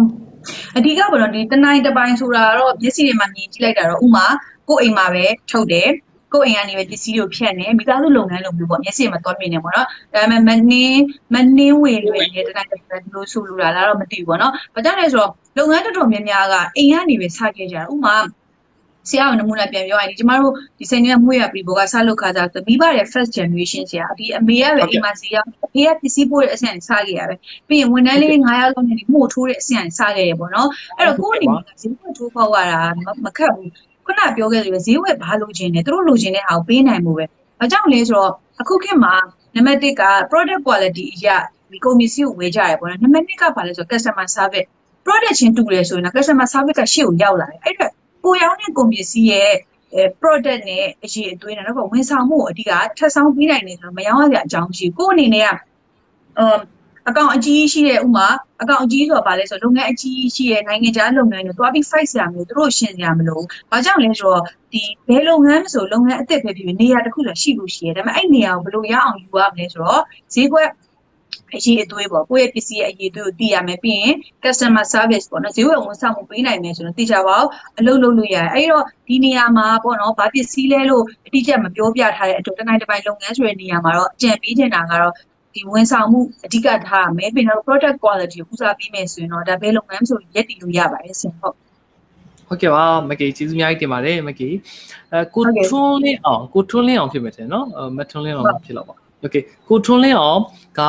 မက်ကီတဲ့ traditional နဲ့ online fashion ပစ္စည်းရောင်းတဲ့သူအနေနဲ့အခုချိန်မှာဘာဆက်လုပ်တင်ပါသလဲတဲ့ อืม traditional နဲ့ online fashion ဆိုတော့ဒီ traditional ဆိုရိုးရာပိုင်းပေါ့ချီတယ်ပြောတာလားဥမာလက်ဝတ်လက်စားပြောတာတခုခုပေါ့နော်အဓိက online fashion ရောင်းတဲ့လူအနေနဲ့ဆိုတော့ဘာဆက်လုပ်ရမလို့ ကိုပစ္စည်းတွေတောက်လျှောက်တော့ post လုပ်နေ online ပေါ်မှာတရက်ကိုတစ်ခုလို့မရောင်းရလဲကိစ္စမျိုးတရက်ကိုနှစ်ခုလို့ကိုဘာပစ္စည်းကိုဥမာကိုပစ္စည်းဘယ်နှမျိုးကိုရောင်းလဲပေါ့နော်အခု20ရောင်းနေဆိုရင်20လုံးတစ်ပြိုင်တည်းကြီးအများကြီးဒီ online page မှာမတင်လိုက်နဲ့ပေါ့အဲ့ဆိုဈေးဝယ်ကဘာလို့ရှိရမှမသိတော့ဟိုမှာဒီနေ့မှာနမူနာအဖြစ်ပေါ့နော်ဒီကိုထုံးလေးအောင်ဘာရောင်းဘာရောင်းတာလဲအတိအကျမပြောအင်ကြီး traditional ရောင်းနေဆိုရင်အနွေရာသီပူပြင်းတဲ့နွေရာသီမှာခြိတဲ့လေးတွေနဲ့အေးလေးဝစ်ကြရအောင်ဘာညာဆိုရင်ခြိတဲ့နဲ့ပတ်သက်တဲ့ဒီ design လေးတွေကိုတင်ပေါ့ အဲ့ဒီ post လေးအောင်မှာပြီးရင်ဘယ်နှစ်ထဲဝင်ရင် home delivery free ပြီးအဓိကပါလို့အဲ့ဒါကပါလို့ဆို service ကိုချက်ဆောင်ပြီးပေးတာဘယ်နဲ့ဝင် home delivery ဘယ်နဲ့ဝင်တော့အဲအိမ်နေရောက်ပို့ပေးပါ hotline ကတော့ဘယ်ဖုန်းနံပါတ်လေးပါဘောဒါမျိုးပေါ့နော်အဓိကတော့ဘာဆက်လုပ်ရမလဲဆိုတဲ့နေရာမှာရက်နေပို့ဆိုးတယ်တခုခုကိုလုပ်နေတခုခုကိုကိုရောင်းတဲ့ပစ္စည်းကိုဈေးဝင်နဲ့ထိတွေ့ဖို့လိုအိမ်ကနေပြီးတော့ online page ကိုဒီနေ့ဘယ်သူမှလည်းလာမမေးဘူးဆိုတော့ဘူးကမင်းမှာမဟုတ်ဘူး။တောင်းလဲဆိုတော့ကိုကအစ်စ်ကိုကအစ်စ်တင်မှာပေါ့နော်ဈေးဝယ်ကကိုယ့်ရဲ့ follow လုပ်ထားတဲ့လူပဲဖြစ်ဖြစ်ကိုယ့်ရဲ့ page ကို like လုပ်ထားတဲ့လူကဒီနေ့ကိုပါပစ္စည်းတင်နေဆိုသိမှာအဲ့လိုမှမဟုတ်ဘူးနှစ်ရက်တင်လိုက်ပြီးထိုင်ဆောင်နေရဆိုတော့ရောင်းဖို့ပို့ပြီးတော့ခက်တယ်အဲ့တော့အမအနေနဲ့ကဘာလို့ချင်လဲဘာလို့စီချင်လဲဆိုတော့ကိုရောင်းနေတဲ့ပစ္စည်းလေးကိုအဆက်မပြတ် page မှာနှစ်ရက်တစ်ခါလောက်တင်ပေးနေတင်ပြီးတော့တကယ်လို့ကိုယ့်အနေနဲ့အဆင်ပြေရဲဆိုရင်တော့ boost လုပ်တာလေးတော့နည်းနည်းသုံးနေချင်တယ်ပေါ့နော်။ဘာကြောင့်လဲဆိုတော့ Facebook ကအခုဆိုအရင်သုံးတဲ့လူများတော့ boost လုပ်တဲ့ post တွေဆိုအရင်မပေးတော့ဘူးပေါ့နော်။ပြီးရင် boost လုပ်တဲ့အခါမှာကိုဆုံးရှုံးသွားမှပြန်ရတာ30ဘို့ boost လိုက်တယ်ဆိုရင်အင်ကြီးတစ်ထည်နှစ်ထည်ထွက်သွားရင်တော့ဒါကိုယ့်အတွက်အမြတ်ပဲအဲ့တော့ကိုယ့်အနေနဲ့ဒီအမားသတိထားမိလာပါနော်ဒီ Catherine Online University လုပ်တယ်ဆိုရင်ဒီခန်းသွင်းထွက်လည်းမပူမဟုတ် boost တယ်ဒါပေမဲ့ဘာတွေလဲဆိုတင်တန်းတွေကိုပဲ boost လုပ်တယ်ပုံမှန် video ဆို boost မလုပ်ဘူးပုံမှန်အပြင်ဘာသွားတွေ့လဲဆိုတော့10% 10%ရှိရဆရာဥမာဒေါ်လာ30ကိုကိုကဒီနေ့ post တစ်ခုကို boost လိုက်တယ်ဆိုတော့တသိန်းမို့ပြင်ရတယ်ဆရာ အဲ့တော့ marketing အနေနဲ့က10%အနည်းဆုံးကိုဝင်ချင်တာထက်သုံးရမယ်ပေါ့ဒါတော့ကျွန်မအတွေ့အကြုံတွေပြောပြတာပေါ့နော်ဆရာဒီဆရာတို့ကတော့ online entrepreneur အနေနဲ့တော့ဘယ်လောက်သုံးသင့်ဘယ်လောက်ပြင်ရမယ်ဆိုတော့ပိုသိမှာပေါ့နော်အဲ့ဒီခါမှာလည်းခုနကပြော right target ဖြစ်ဖို့တော့လိုတာပေါ့နော်အဲ့ဒါနဲ့ပတ်သက်ဆရာကိုကျော်သူရဲ့အတန်းကိုတက်ပါလို့ပြောချင်ပါတယ်ဆရာဟုတ်ပါဘူးမကြီး share ပေးပါမကြီး share ပေးပါကျွန်တော်တို့ဆရာကိုအချက်လက်ကလေးကလည်းဟိုဒါလုပ်ငန်းလုပ်ငန်းရှင်တွေနားထောင်တဲ့ဟာလေးရေနောက်ပြီးတယောက်တယောက်ပြုံမတူတာမျိုးရှိရမကေအဲ့ဒါလေးတစ်ချက်ထပ်ရှင်းပေါ့ဟုတ်တယ်ဆရာတချို့ကပေါ့နော် page like တွေအများကြီးရမှာပေါ့နော်ဒီဈေးရောက်ရတယ်မဟုတ်ဘူးဆရာအခုဆိုရင်ပေါ့နော်ညီမ page တစ်ခုရှိရပါလဲဆိုတော့အခုတလုံးထောင်လိုက်တာဒီ easy match ဆိုတာဘာလို့လဲ hand share တွေဆရာအဓိကဘာအတွက်လုပ်လိုက်တာလဲဆိုတော့ကို့မှာ online ကနေပြောတာ team တွေရှိ admin team တွေရှိရသူတို့ကအခုချိန်မှာပြင်းတော့အလုပ်လုပ်ချင်ကြတယ်သူတို့အတွက်အဲ့ဒီလုပ်ကိုလုပ်ပေးလိုက်တာလုပ်ပေးလိုက်ပြီးတော့သူတို့ဒီ salary ပေးဖို့လည်းရှိတော့ကြတာဒီ easy match ဆိုတဲ့ page လေးလုပ်တယ် page like ကဆရာ300ပဲရှိရဆရာ booster အဲဒေါ်လာ20ပဲ boost တယ်ပေါ့နော်ဘူးဒေါ်လာ20ဆိုတာဒီပမာငွေ3000လောက်ပဲရှိရစင်ငူဒေါ်လာဖြစ်နေတယ်အဲ့မှာပါလဲဆိုတော့ဒီ like က1.6 reach နဲ့ရောင်းရတယ်ဆရာအများကြီးပဲရောင်းရတဲ့ခါမှာတိန့်ချီပြန်ပြီးတော့ရောင်းရတယ်အဲ့တော့ဘာလဲဆိုတော့တချို့ကထင်တယ် like တွေအများကြီးရမှအလုပ်လုပ်ရမယ်ထင်တာမဟုတ်ဘူး online ကနေပြီးတော့ကိုပေးခြင်းတဲ့ဒီကိုရောင်းနေတဲ့ပစ္စည်းကိုတင်အဲ့ဒီပစ္စည်းကိုဘယ်သူတွေသုံးလဲဆိုတာသိပြီးအဲ့ဒီ target ကိုရောက်အောင် boost လုပ်နိုင်မယ်ဆိုရင်တော့တကယ်တိကျပေါက်ရောင်းရတယ်အဲ့တော့ဒီကိုထုံးလေးအောင်အနေနဲ့ဆက်ပြောချင်တာကရက်မနေပါနဲ့စောင့်နေပါနဲ့ကိုရောင်းတဲ့ပစ္စည်းကိုဆက်ပြီးတော့ရောင်းနေပါပြီးနောက်တစ်ခုကကိုက traditional နဲ့ online fashion ဆိုရင်တော့တခြားပစ္စည်းတွေလည်းရောင်းနေဆိုရင်အခုရာသီပေါ်နေတဲ့ခေတ်စားနေတဲ့ပစ္စည်းတွေယူပြီးတော့ရောင်းမယ်ဆိုရင်ကိုယ့်အနေနဲ့ daily income တွေတစ်ခုတော့ရတာပေါ့နော်ဒါကတည်းကတချို့ကပြောင်းလဲရမှာကိုစိုးရင်ကြတယ်လက်ရှိရောင်းနေပစ္စည်းပဲဇွတ်ရောင်းနေတယ်ဒါပေမဲ့အဲ့လက်ရှိရောင်းနေပစ္စည်းကအခုချိန်မှာလူသုံးမများတဲ့ပစ္စည်းဆိုတော့ဘယ်လောက် boost ကိုရောင်းအောင်မှာမဟုတ်ဘူးအဲ့ဈေးကွက်အနေထားကိုလည်းသိဖို့လိုပါတယ်ဆရာဟုတ် ဟုတ်ကဲ့ပါမကေအော်ဒီဟာဒီဟာလေးနဲ့ပတ်သက်လို့ပေါ့လေအားလုံးလည်းသိကျင်တဲ့မိကုံးလေးတခုကျွန်တော်ဆက်မေးပေးပြရစီဟိုအခုချိန်မှာဦးနာမကေကဒါဒါ boost ပါဆိုတော့တချို့ကဒီဒီ concern လေးပေါ့လေစိုးရိမ်နေကြဒီအချိန်မှာ boost ရင်ရောဝယ်မဲ့သူတွေရှိပါမလားဝယ်မဲ့သူတွေပတ်စံသုံးကျင်ကြပါမလားပေါ့လေနောက်ပြီးလို့ရှိရင် boost တဲ့အချိန်ကြလို့ရှိရင်ဒါအရင်ရောင်းနေလို့ထင်နေကြမလားအဲဒါမျိုးလေးစိုးရိမ်နေတာလေးတွေ့ရတယ်မကေဆိုတော့အဲ့ဒါလေးတစ်ချက်လောက်ဆွေးနွေးပေးပါအော င်အမ် booster အရင်ရောင်းနေနေမလားအဲ့လိုမဟုတ်ဘူးနော်ဈေးရောင်းတဲ့ page ဆိုတော့တကယ်ရောင်းဖို့ပဲပေါ့နော်ကိုက boost like တယ်ကိုဝေါ်ဝေါ်ကိုတက်လာတယ်ဒီကျမတို့ဆိုလဲဆရာကို like လုပ်မထားတဲ့ page တွေတက်လာအများကြီးတက်လာတော့ဘာဖြစ်လဲဆိုတော့ကြည့်လိုက်မြင်စိတ်ဝင်စားနေတခါတည်း Facebook ကဘယ်လောက်ထိအဲသူကဖြစ်လဲဆိုရင်ပေါ့ကိုကတခါလေးပါလေမဟုတ်ဘူး စကားတကားလေးကြည့်ရင်ရှာရတယ်စကားကိုကြည့်လိုက်တယ်ဆိုအောက်မှာဆိုတခါလေးလေသူ့ target ထဲကိုကပါသွားတယ်စကားအများကြီးတက်လာတယ်ပေါ့နော်ဆရာတခါလေးစစ်တယ်မမြင်ကြဘူးပေါ့နော် Facebook ကအဲ့တော့ကိုယ့်အနေနဲ့ကတော့ပေါ့နော်ဒီကြည့်တယ်မကြည့်တယ်ဟိုစိုးရိမ်ကြမလို့အဓိကကိုရေးတဲ့အစာကိုရောင်းတဲ့စာသူများကိုမချိကဲသူများကို toxic မဖြစ်ဘူးဒါဆိုမမုန်းအဲ့လိုမှမဟုတ်ပဲကိုကအာဟိုအများကြီးမဖြစ်နိုင်တဲ့အပူစာသားတွေရှောက်ရေးတယ်တချို့ဆိုကတော့ online မှာဆရာတွေခုနောက်ပိုင်းတွေ့ဘူးလားဆေးတွေကြော်ညာတာတချို့ hand gel ကြော်ညာတွေ့ဘူးလေဗါတဲ့ ကိုရိုနာဗိုင်းရပ်စ်ကာကွယ်တဲ့ပါညာဆိုတော့တချို့ဈေး customer တွေကစာဖတ်တဲ့လူတွေသိရလေသွားရှိတယ်နိုင်ငံတော်ကတော့မှပေါ့နော်ဒီကဘာကြီးကတော့ကာကွယ်ဆေးရှာမတွေ့သေးရဘယ်လိုလို့ဒီဟာကိုကာကွယ်ရတော့သိရလဲအဲ့လိုမျိုးပေါ့နော်အဲ့ကျတော့ကိုယ့်အနေရေးတဲ့အခါမှာဒီအနှောင့်အသွားလွတ်ပေါ့နော်ကိုယ့်ပစ္စည်းတွေတကယ်ကောင်းကြအောင်ပဲရှိပိုလည်းမရေးနဲ့ရှော့နေအမှန်တိုင်းလေးပဲရှိပြီးရင်ပုံမှန်လေး boost နေပေါ့အဲ့ဒီခါမှာလိုချင်တဲ့လူဆိုတာအလိုလိုရောက်လာလိမ့်မယ်ဟိုဈေးရောက်နေဆိုတာစကားပေါင်းနဲ့စစ်ချတယ်ပေါ့နော်ဘယ်လိုလဲဆိုတော့ဒီကိုကအဲ boost လိုက်တဲ့ post ကတသိန်းအောင်ရောက်သွားမယ်နော်တသိန်းလုံး push ရဝင်မှာမို့အဲတသိန်းလေးကနေတော့အဲစိတ်ဝင်စားလူလေးရောက်လာမယ်နောက်တကယ်လို့ဒီနေ့လူကလာမေးမယ်အဲ့ဒီထဲကနေမှနောက်ဆုံးပတ်စံပေးလိုက်တဲ့လူမှာကိုယ့်ရဲ့ customer ပေါ့နော်အဲကျတော့ကိုကတသိန်းရောက်တဲ့ထဲကလူ10ရောက်ခွေရောင်းအောင်ရောင်းတာကိုယ့်အနေနဲ့ဝင်ဝင်တစ်ခုရလာရဆိုလို့အလုပ်တစ်ခုလေးပတ်လို့ရမှာပေါ့ဆရာအဲ့တော့ဒီလုပ်ငန်းတစ်ခုလုပ်တယ်ဆိုတာမဘူးလို့မရအောင်ဆရာထိုင်ဆောင်နေလို့ကတော့ဒီဒီခေတ်ကြီးမှာရောင်းအောင်မဟုတ်ဘူးဆရာဟုတ် ဟုတ်ကဲ့ပါမကေကျေးဇူးအများကြီးတင်ပါတယ်ဒါအားလုံးလည်းဟိုသိချင်နေတဲ့မေးခွန်းလေးကျွန်တော်ထင်လို့ပါအဲနောက်မတ်မော်မော်နှင်းကမေးထားပါတယ်ဒါမက်ကေတင်လည်းဟိုပို့ပြီးတော့ကိုက်ညီတဲ့မေးခွန်းလေးကျွန်တော်ထင်လို့ပါအဲယခုချိန်မှာတဲ့အဲ production အနေနဲ့ထုတ်လုပ်ပေးရပါမယ်တဲ့ပမာဏနဲ့ဝန်ထမ်းအင်အားမလုံလောက်ပါဘူးတဲ့ OT လည်းခေါ်လို့မရပါဘူးတဲ့ customer ဘက်ကလည်းနောက်ဆုတ်ပြီးယူပေးဖို့ညီမဆိုလို့ရှိရင်ဘယ်လိုလုပ်မလဲတဲ့ မကေတခြားအဲ့လေးချက်တော့ကြံလေးပြီးပါဦးအဓိကတော့ဘောနော်ဆရာဒီအခြေအနေတစ်ခုကိုအာအကြံပေးရတဲ့အချက်ပေါ့နော်အဓိကခုနကပြောဆိုကိုယ့်အနေနဲ့ production plan တစ်ခုရှိထားဖို့လိုတာပေါ့ဘာ plan လဲဆိုတော့ကိုတောင်ထဲမှာလူကလေးကပစ္စည်းတွေဆိုတာလောင်ထားဖို့လိုတယ်ဆရာဥမာညီမတို့ဆိုလဲဒီပစ္စည်းတွေကိုဘယ်လိုလုပ်ရလဲဆိုတော့အငင်းကိုတောင်ထဲမှာဆို minimum level သတ်မှတ်ထားတယ် minimum level maximum level maximum level ဆိုတာကတော့အများဆုံးဘယ်လောက်ထိပဲထုတ်ဒီပစ္စည်းဆိုရင် ဒီပစ္စည်းဆိုအနည်းဆုံးကိုရောင်ထဲမှာဘယ်လောက်ရှိရမလဲ stock ကိုလှန်လိုက်လှန်လိုက်တာနဲ့မှန်တယ်များကိုရောင်ထဲမှာဒါရှိကိုရှိရမယ်အဲ့ဒီကိုရောင်ထဲမှာထားရမယ်ပစ္စည်းစင်းနေဘယ်ရရလဲဆိုတော့နှစ်စင်ရောင်းကြီးတွေကနေလာရဆရာနှစ်စဉ်ဥမာဒီတစ်လမှာမှုရဘယ်နှချက်ရောင်းရတယ်။တစ်နှစ်လုံးမှာမှုရဘယ်နှချက်ရောင်းရတယ်။ Okay ပြန်ပြန်စားလိုက်မယ်12လ။ဒါဆိုရင်ဒီရာဒီမှာငါတို့လစဉ်ဂိုးတောင်ထဲမှာမှုရအမျိုးအစား20ရှိရတယ်။20လုံးကိုဘယ်လောက်လောင်ထားမလဲဆိုစည်ရင်းရှိရပေါ့နော်။အဲ့တော့ ဒီမက်မမော်နင်းနေနေရပါတော့ corporation ထုတ်ပြန်ပမာဏနဲ့ဝန်ထမ်းမလုံလောက်ဘူးဆိုရင်ကို့မှာငွေရင်းနှီးအပိုရှိလားဒီချိန်အပိုရှိရဆိုရင်တော့စက်ပစ္စည်းကိုထပ်တိုးရမှာလားဒါမှမဟုတ်အပြင်ကနေပြီးတော့ဒီလုံသားတွေကိုပေါ့နော်ကို့လက်ရှိဝန်ထမ်းမဟုတ်တော့မှနေနေအတွက်နဲ့ပေးလို့ရနေစားဝန်ထမ်းတွေရှိတယ်နေစားဝန်ထမ်းတွေခေါ်ပြီးထည့်မလားဆိုတော့အရင်ဆုံးစဉ်းစားရမယ်အဲ့ဒါပါလဲဆိုတော့ဟို budget နဲ့ကိုက်မကိုက်ပေါ့ OT ပေးတာတကယ်ပြောရရင်တော့ရေရှည်မှာတော့အာမပေးဘူးဆိုတော့ OT ပေးတာပို့ပြီးတော့ပတ်စံပိုးကုန်တယ်ဘာကြောင့်နှစ်ဆပေးရတဲ့အတွက် ကိုကအဲ့ OT ကိုပေးလိုက်တဲ့အခါမှာဝန်ထမ်းကနေ့စဉ်ရက်ဆက်ဖြစ်လာတဲ့အခါမှာသူ့ရဲ့လုပ်ရည်ကံရဲ့ကျလာတယ်ပြီး OT အချိန်မှာသူတို့တွေတေချာမလုပ်ဘူးကြံတဲ့အချိန်ထက်ပေါ့နော်ပြီး OT ကိုခေါ်ပြီးဆိုလဲဥမာတရက်ကိုအလုပ်ရ8နာရီရှိရ8နာရီမှာဒီလုပ်တော့အဲ production ဘယ်လောက်ထုတ်လဲ OD မှာအချိန်နဲ့ပြင်ပြီး production ဘယ်လောက်ထုတ်လဲတေးကြတာ OD အချိန်မှာပုံမှန်အချိန်နဲ့ပို့ပြီးတော့ထုတ်လို့အားကြတာပေါ်ပြီးတွေ့ရဘာလို့တော့ပင်မန်းနေစီပြီးရင်သူ့ကိုကြည့်လိုက်တယ်ဆို OD ချိန်ညနေသူကပြီးချင်းပြီးတော့ဒီဖြည်းဖြည်းလေးလုပ်နေရမျိုးတွေ့ရတယ်အဲ့တော့အကြံပြုချင်တာကတော့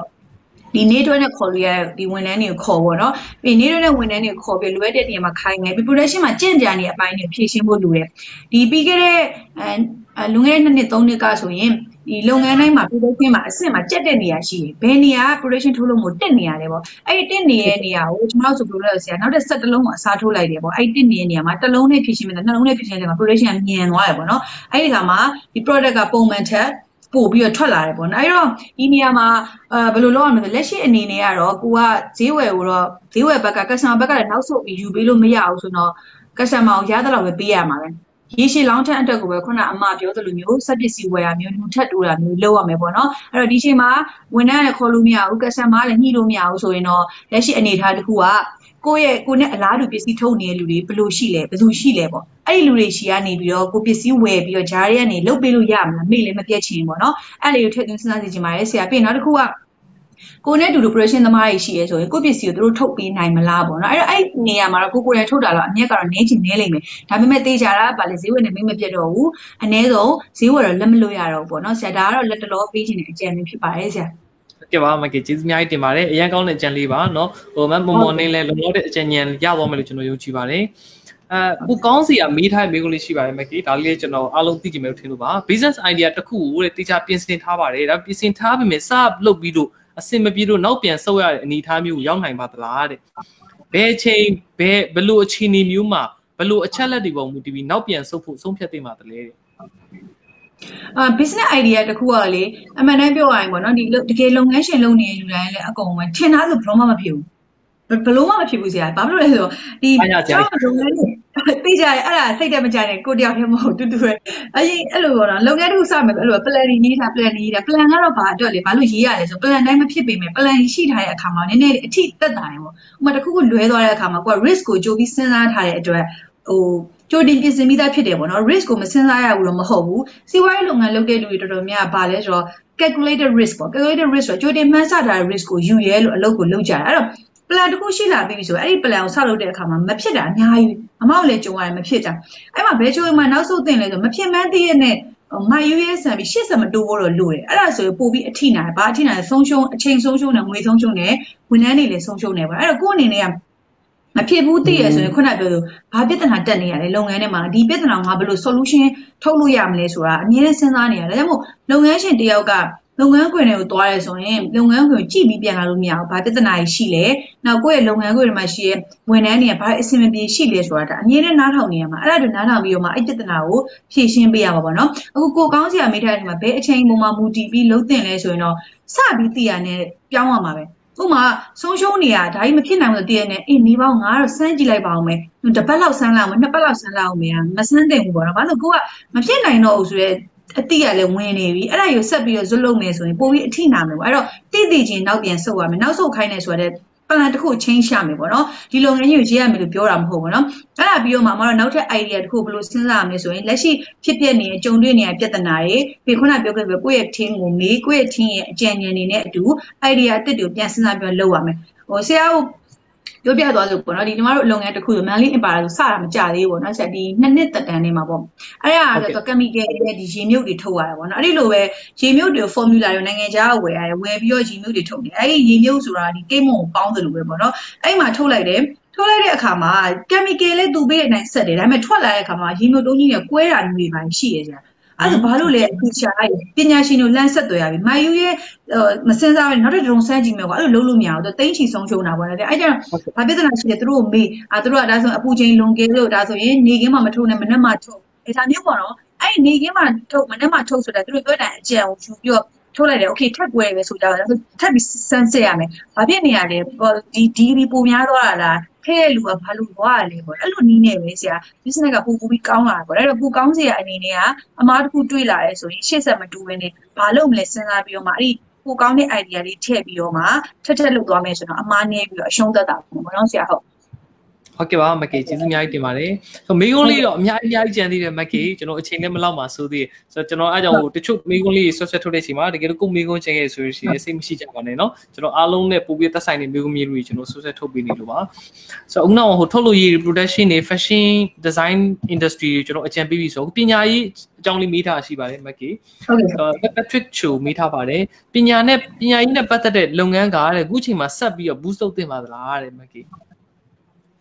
အာ boost လုပ်တယ်ဆိုတာတဲ့ဆက်လုပ်တင်လာလို့ပဲယူဆမယ်ပေါ့နော် boost ဆိုတာဒီလုပ်ငန်းတစ်ခုကိုရှင်းဆက်နိုင်လုပ်တဲ့လို့ယူဆရပေါ့နော်ပညာနဲ့ပတ်သက်တဲ့လုပ်ငန်းဆိုတာဘာပညာလဲဆိုတော့အရေးကြီးတာပေါ့နော်ဆရာကိုပေးခြင်းတဲ့ပညာရဲ့ဆိုဥမာစီးပွားရေးပညာရဲ့လားဒါမှမဟုတ်ဟင်းချက်ပညာလားဒါမှမဟုတ်ဂီတာတီးမှာလားအမှုပညာလားအကလားယောဂလားအခုဆိုရင်ပေါ့နော် online မှာတကယ် entrepreneur အများကြီးပေါ်လာကြတယ်သိလားကိုယ့်ရဲ့ account ထဲမှာကိုပေါ့နော်အိမ်ကနေညှင်းချက်ပြရတဲ့လူတွေညှင်းချက်နီးတွေနောက် online ဂျူးကတော့အများကြီးအများကြီးပဲအဲ့တော့ဒီအချိန်ကပ ညာရေးနဲ့ပတ်သက်ပြီးတော့ဒါနောက်ဆုံးရမယ့်အချိန်ကိုရှေ့တူရမယ့်အချိန်အမှန်တိုင်းပြောရမယ်ဆိုမနော်။ဘာကြောင့်လဲဆိုတော့အာတချို့ကတခါလေးစဉ်းစားရပါတော့လူတွေအများကြီးကို page ကို like လုပ်မှလူတွေအများကြီးကြည့်မှလူတွေစိတ်ဝင်စားတဲ့အရာမှငါသင်ပေးရမယ်အဲ့လိုမဟုတ်ဘူးကိုသင်မဲ့အရာဒီက value ရှိရဆိုရင်ဟိုမတက်တဲ့လူတွေလာတယ်ဥပမာဘယ်လိုပြောရမလဲဆိုရင်ကိုကဥမာတရုတ်စာအုပ်ထားပါအခုချိန်လေ့လာနေ level 3လောက်တော့ရောက်ပြီတေးချာတဲ့ကိုက level 3နဲ့တင်မယ်ဆိုရင် level 0ဖြစ်နေတော့ကိုရှိလာမှာပဲအဲ့တော့ကိုက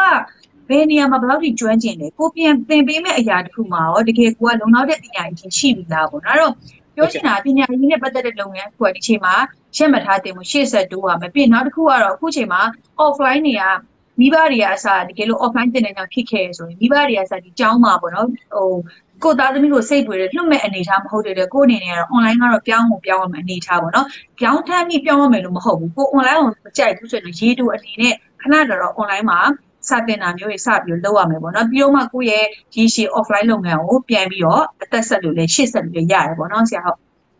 ဟုတ်ကဲ့ပါမကီကျေးဇူးတင်ပါတယ်အဲတခုနော်နော်မေကွန်လေးတခုတော့ဟိုကျွန်တော် business idea နဲ့တော့မဆိုင်ဘူးမကီဟို motivation လေးနဲ့ဆိုင်တယ်ဒီမေကွန်လေးရောဟိုမကီဖြေလို့အဆင်ပြေမလားခင်ဗျဖြေဖြေလို့အဆင်ပြေတယ်ကျွန်တော် ပြောပါ ရတယ်ဆရာ ဟုတ်ကဲ့ပါအာဒေါ်မူကမေးထားပါတယ်မကီအာ great ပေါ့လေ10တန်း17တန်းတင်တဲ့ဆရာမတယောက်ပါရေချက်မဲ့နေတဲ့ကလေးတွေစာလဲလိုက်မလို့ဘူးလေတက်နိုင်သမျှစူးစမ်းပြီးတွဲခေါ်လဲပါမလာပါဘူးတဲ့တခါတရံမှာဆရာမက against လုပ်ကြပါတယ်အဲ့လိုကလေးမျိုးကိုဘယ်လို motivate လုပ်ရမလဲတဲ့ อืมအဓိကပေါ့နော်อืมကလေးမျိုးတွေကတော့သူတို့ကစူတယ်ဆိုရင်တော့ပို့ပြီးတော့စူတယ်ပေါ့နော်အဲ့တော့အဓိကဟိုများသောအားဖြင့်စာတင်တဲ့အခါမှာလည်းပေါ့နော်ဒီအခုခေတ်ဆိုရင်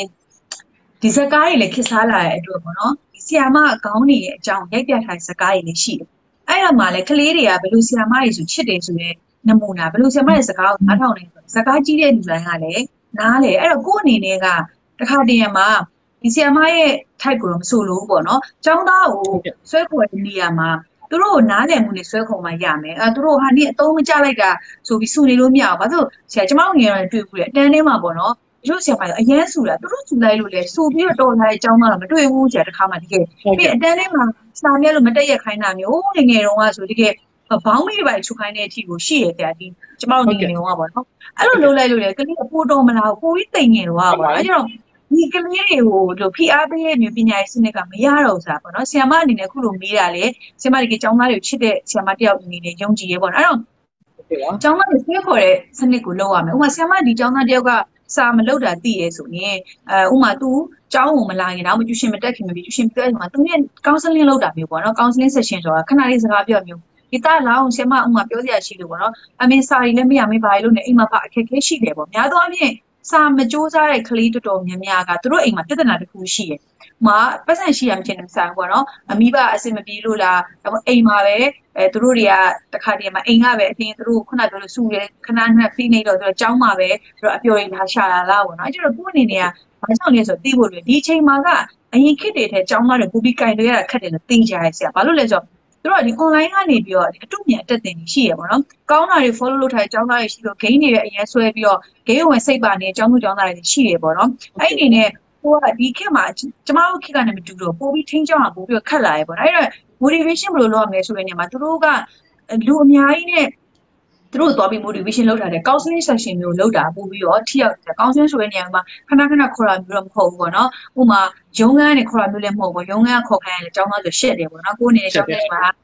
ဟုတ်တယ်တာလာပေါင်းတာဘယ်လိုနေလဲချင်းတာစာမြောင်းတော့ဗာလဲပေါ့။ဘာကြောင့်လဲဆိုတော့လူလူလိုင်းကနှွေးထွေးမှုကျင်နာမှုဆိုတာ ခံစားလို့ရတယ်ဆရာ။အဲ့နှွေးထွေးကျင်နာမှုခံစားရတဲ့အခါမှာသူတို့ကကိုယ့်ဘက်ကိုပါလာလိမ့်မယ်ပေါ့နော်။အဲ့ဒါဆရာမကိုအကြံပေးချင်တာပထမဆုံးအဲ့လိုအဆင့်လေးစကြည့်ပေါ့နော်။အဲ့ဒီကနေမှကျောင်းသားလေးကိုစာအုပ်လေးပြီးပြီးဖတ်တာမျိုး motivation နဲ့ပတ်သက်ပြီးတော့ပေါ့နော်။ပြီးရင်နောက်တစ်ခုကကိုတင်နေတဲ့အတန်းမှာလည်းခါအရေးကြီးရဆရာနောက်ပိုင်းအခုပညာရေးစနစ်မှာဘာတွေတွေ့ရလဲကျောင်းသူကျောင်းသားတွေက ABCDE တွေခွဲထားရပေါ့နော်အဲ့ဒီအချိန်မှာတစ်ခါဒီနေ့ဟို အီရန်ကလေးတွေအရင်ဆိုးတာမျိုးမြင်မှုရဆရာသူတို့ကဘယ်လိုဖြစ်သွားလဲဆိုတော့အမှအီရန်ကလေးတွေဆိုးတာမဟုတ်ဘူးဆရာတခါကျစမကြက်ချင်တာစမကြက်ချင်ပြီးအီရန်ကိုတွားထားလိုက်တဲ့အခါမှာသူတို့ဘာဖြစ်သွားလဲဆိုတော့အဲ့ပတ်ဝန်းကြီးကစာမကြက်တဲ့လူတွေဖြစ်သွားတာသူတို့စာမကြက်တာမစမ်းတော့ဘူးဖြစ်သွားတယ်သိလားအဲ့တော့ကျောင်းပြင်မှာလည်းပေါ့ကိုအကြံပြုချင်တာကျောင်းသားတွေ miss လုပ်ပြီးထားတာပိုသဘောကျတယ်ဟိုအခုနောက်မှာ private ကျောင်းတွေမှာအေးဆိုအမှတ်တွေအများကြီးကောင်းတဲ့လူတွေထားတယ် အီးတွေဆိုအမှန်ကောင်းတော့ထားပြီးအီးတို့သိကူးမဆိုင်တော့အဲ့မှာကျောင်းသားတွေကသူတို့ပတ်ဝန်းကျင်ကစာမကျစ်တဲ့လူတွေဖြစ်သွားတာပေါ့သူတို့ဘလို့စာကြိုးစားခြင်းစိတ်ရှိရောမလဲပေါ့နော်ဆရာအဲ့ဒါမျိုးတော့အပြောင်းလဲရမယ့်အရာတစ်ခုပေါ့နော်ဆရာဟုတ်ဆရာမဒီတော့မွေပေါ့နော်အခုဒီကျမပြောသွားတဲ့အကြောင်းအရာတစ်ခုနေဆရာမအသုံးဝင်မယ်လို့မျှော်လင့်ပါတယ်ဆရာမဟုတ် ဟုတ်ကဲ့ပါမကေကျေးဇူးအများကြီးတင်ပါတယ်ဒါအားလုံးလည်းဘူးသူတာလေးရမယ်ထင်ပါတယ်ကျွန်တော်ဟို motivation လေးနဲ့ပတ်သက်လို့ပေါ့လေဟိုကျွန်တော်ထင်တော့အခုအားလုံးအခုနမေးခွန်းလေးတွေအရင်များနေကြရှိတယ်ဒါပေမဲ့ဟိုကျွန်တော်အားလုံးအခုန live ဖတ်နေတဲ့မကေမကေပြောရင်နားထောင်ဒီဘက်က comment တွေကျွန်တော် live ဖတ်နေဟို comment အများစုကျွန်တော်ပြန်ခြုံကြည့်လိုက်လို့ရှိရင်အားလုံးကဟိုကိုယ့်လုပ်ငန်းအကြောင်းမေးတယ်ဒါပေမဲ့အားလုံးဟိုပြန်ရင်းဆက်လိုက်လို့ရှိရင်ကျွန်တော်လုပ်ငန်းဒီချိန်မှာဆက်လုပ်တင်လား ဒါမှမဟုတ်အခုအခုသူတို့စိတ်ထဲမှာစိုးရိမ်နေကြောက်နေကြတယ်မကေဆိုတော့ဟိုကလေးတွေ motivation လေးတွေပါသွားတယ်ဆိုတော့ကျွန်တော်ဒီဟာလေးနဲ့ဆက်ဆက်ပြီးတော့လူကြီးတွေအတွက်ကို motivation လေးတစ်ချက်တော့ပြောပြပါဦးသူတို့အတွက်အချမ်းပြုချက်လေးပေါ့လေဒီချိန်မှာသူတို့အားလုံးကကြောက်နေကြတယ်စိုးရိမ်နေကြတယ်ဆက်လို့ရင်ကောင်းမလားငါတို့စောင့်နေကောင်းမလားဦးနောက်လို့မကေတော့ idea လေးထုတ်ပါလို့ပြောနေရတာဒါပေမဲ့ငါတို့ဘာလို့သိလဲဒီဒီစိတ်သက်ကြနေလူတွေလည်းကျွန်တော်အများကြီးဒီမှာမိကုန်းလေးကျွန်တော်ကြည့်လိုက်လို့ရှိရင်တွေ့နေရတယ်ဆိုတော့လူကြီးတွေအတွက် motivation လေးတစ်ချက်တော့ပြောပြပါဦးမကေ อืมဟုတ်တယ်ဆရာဒါပေမဲ့ဟိုပေါ့နော်ဆရာပြောဆိုပဲဆက်လို့ရင်ကောင်းမလားရက်လာမယ်ဆိုတာတော့လုပ်ငန်းပေါ်တော့မူတည်ရပါဘူးဥပမာခုနပြောသလိုကိုကတကယ်လူလူချင်းထိတွေ့ရစပါလုပ်ငန်းလေးဖြစ်တယ်စပင်ရက်ဆိုင်လိုမျိုးဖြစ်တယ်ဆိုရင်တော့ဒါဆက်လုပ်လို့မရတဲ့အနေအထားပေါ့နော်အဲ့ကျခုနကပြောဒီ online mode ကိုတက် online mode တက်တယ်ဆိုတော့ဒီကိုယ့်ရဲ့ပစ္စည်းတွေ product တွေစပြီးရောင်းမလားပေါ့နော်ပြီးရင်ဒါမှမဟုတ်ကိုက တကယ်စိတ်ချရရဲဆိုရင်တချို့လူတွေဆိုအိမ်နေရောက်ခေါ်ပြီးနှစ်တာမျိုးရှေ့စပင်းတွေပါ haircut ပေါ့အဲ့ကြအဲ့လိုဝန်ဆောင်မှုတွေပေးနိုင်တာဒါပေးနိုင်မယ်ပေးနိုင်ရင်တော့မှယောဂပါတယ်မပါဘူးပြောလို့မရဘူးအဲ့ကြတချို့လုံငန်းအနေထားကြဆိုရက်ထားမယ်အနေထားဘာကြောင့်ရှစ်ဆက်တွင်တော့ရှုံးမှာ哦အဲ့တော့ကိုယ့်အနေနဲ့ကဒီကိုယ့်ရဲ့ဝန်ထမ်းနေနဲ့ညှိရမှာပေါ့နော်ဥမာ salary ကိုတစ်ဝက်ပေးပြီးတော့ခဏနေမှာပြန်လွတ်ထားတာမျိုးလုံးမလားပြီးတော့မှလုပ်ငန်းကောင်းလို့မှပြန်ပြီးတော့ခေါ်မလားပေါ့နော်အဲ့ဒါတော့ feature ဆုံးဖြတ်ရမယ့်အနေထားဘာလို့လဲဆိုတော့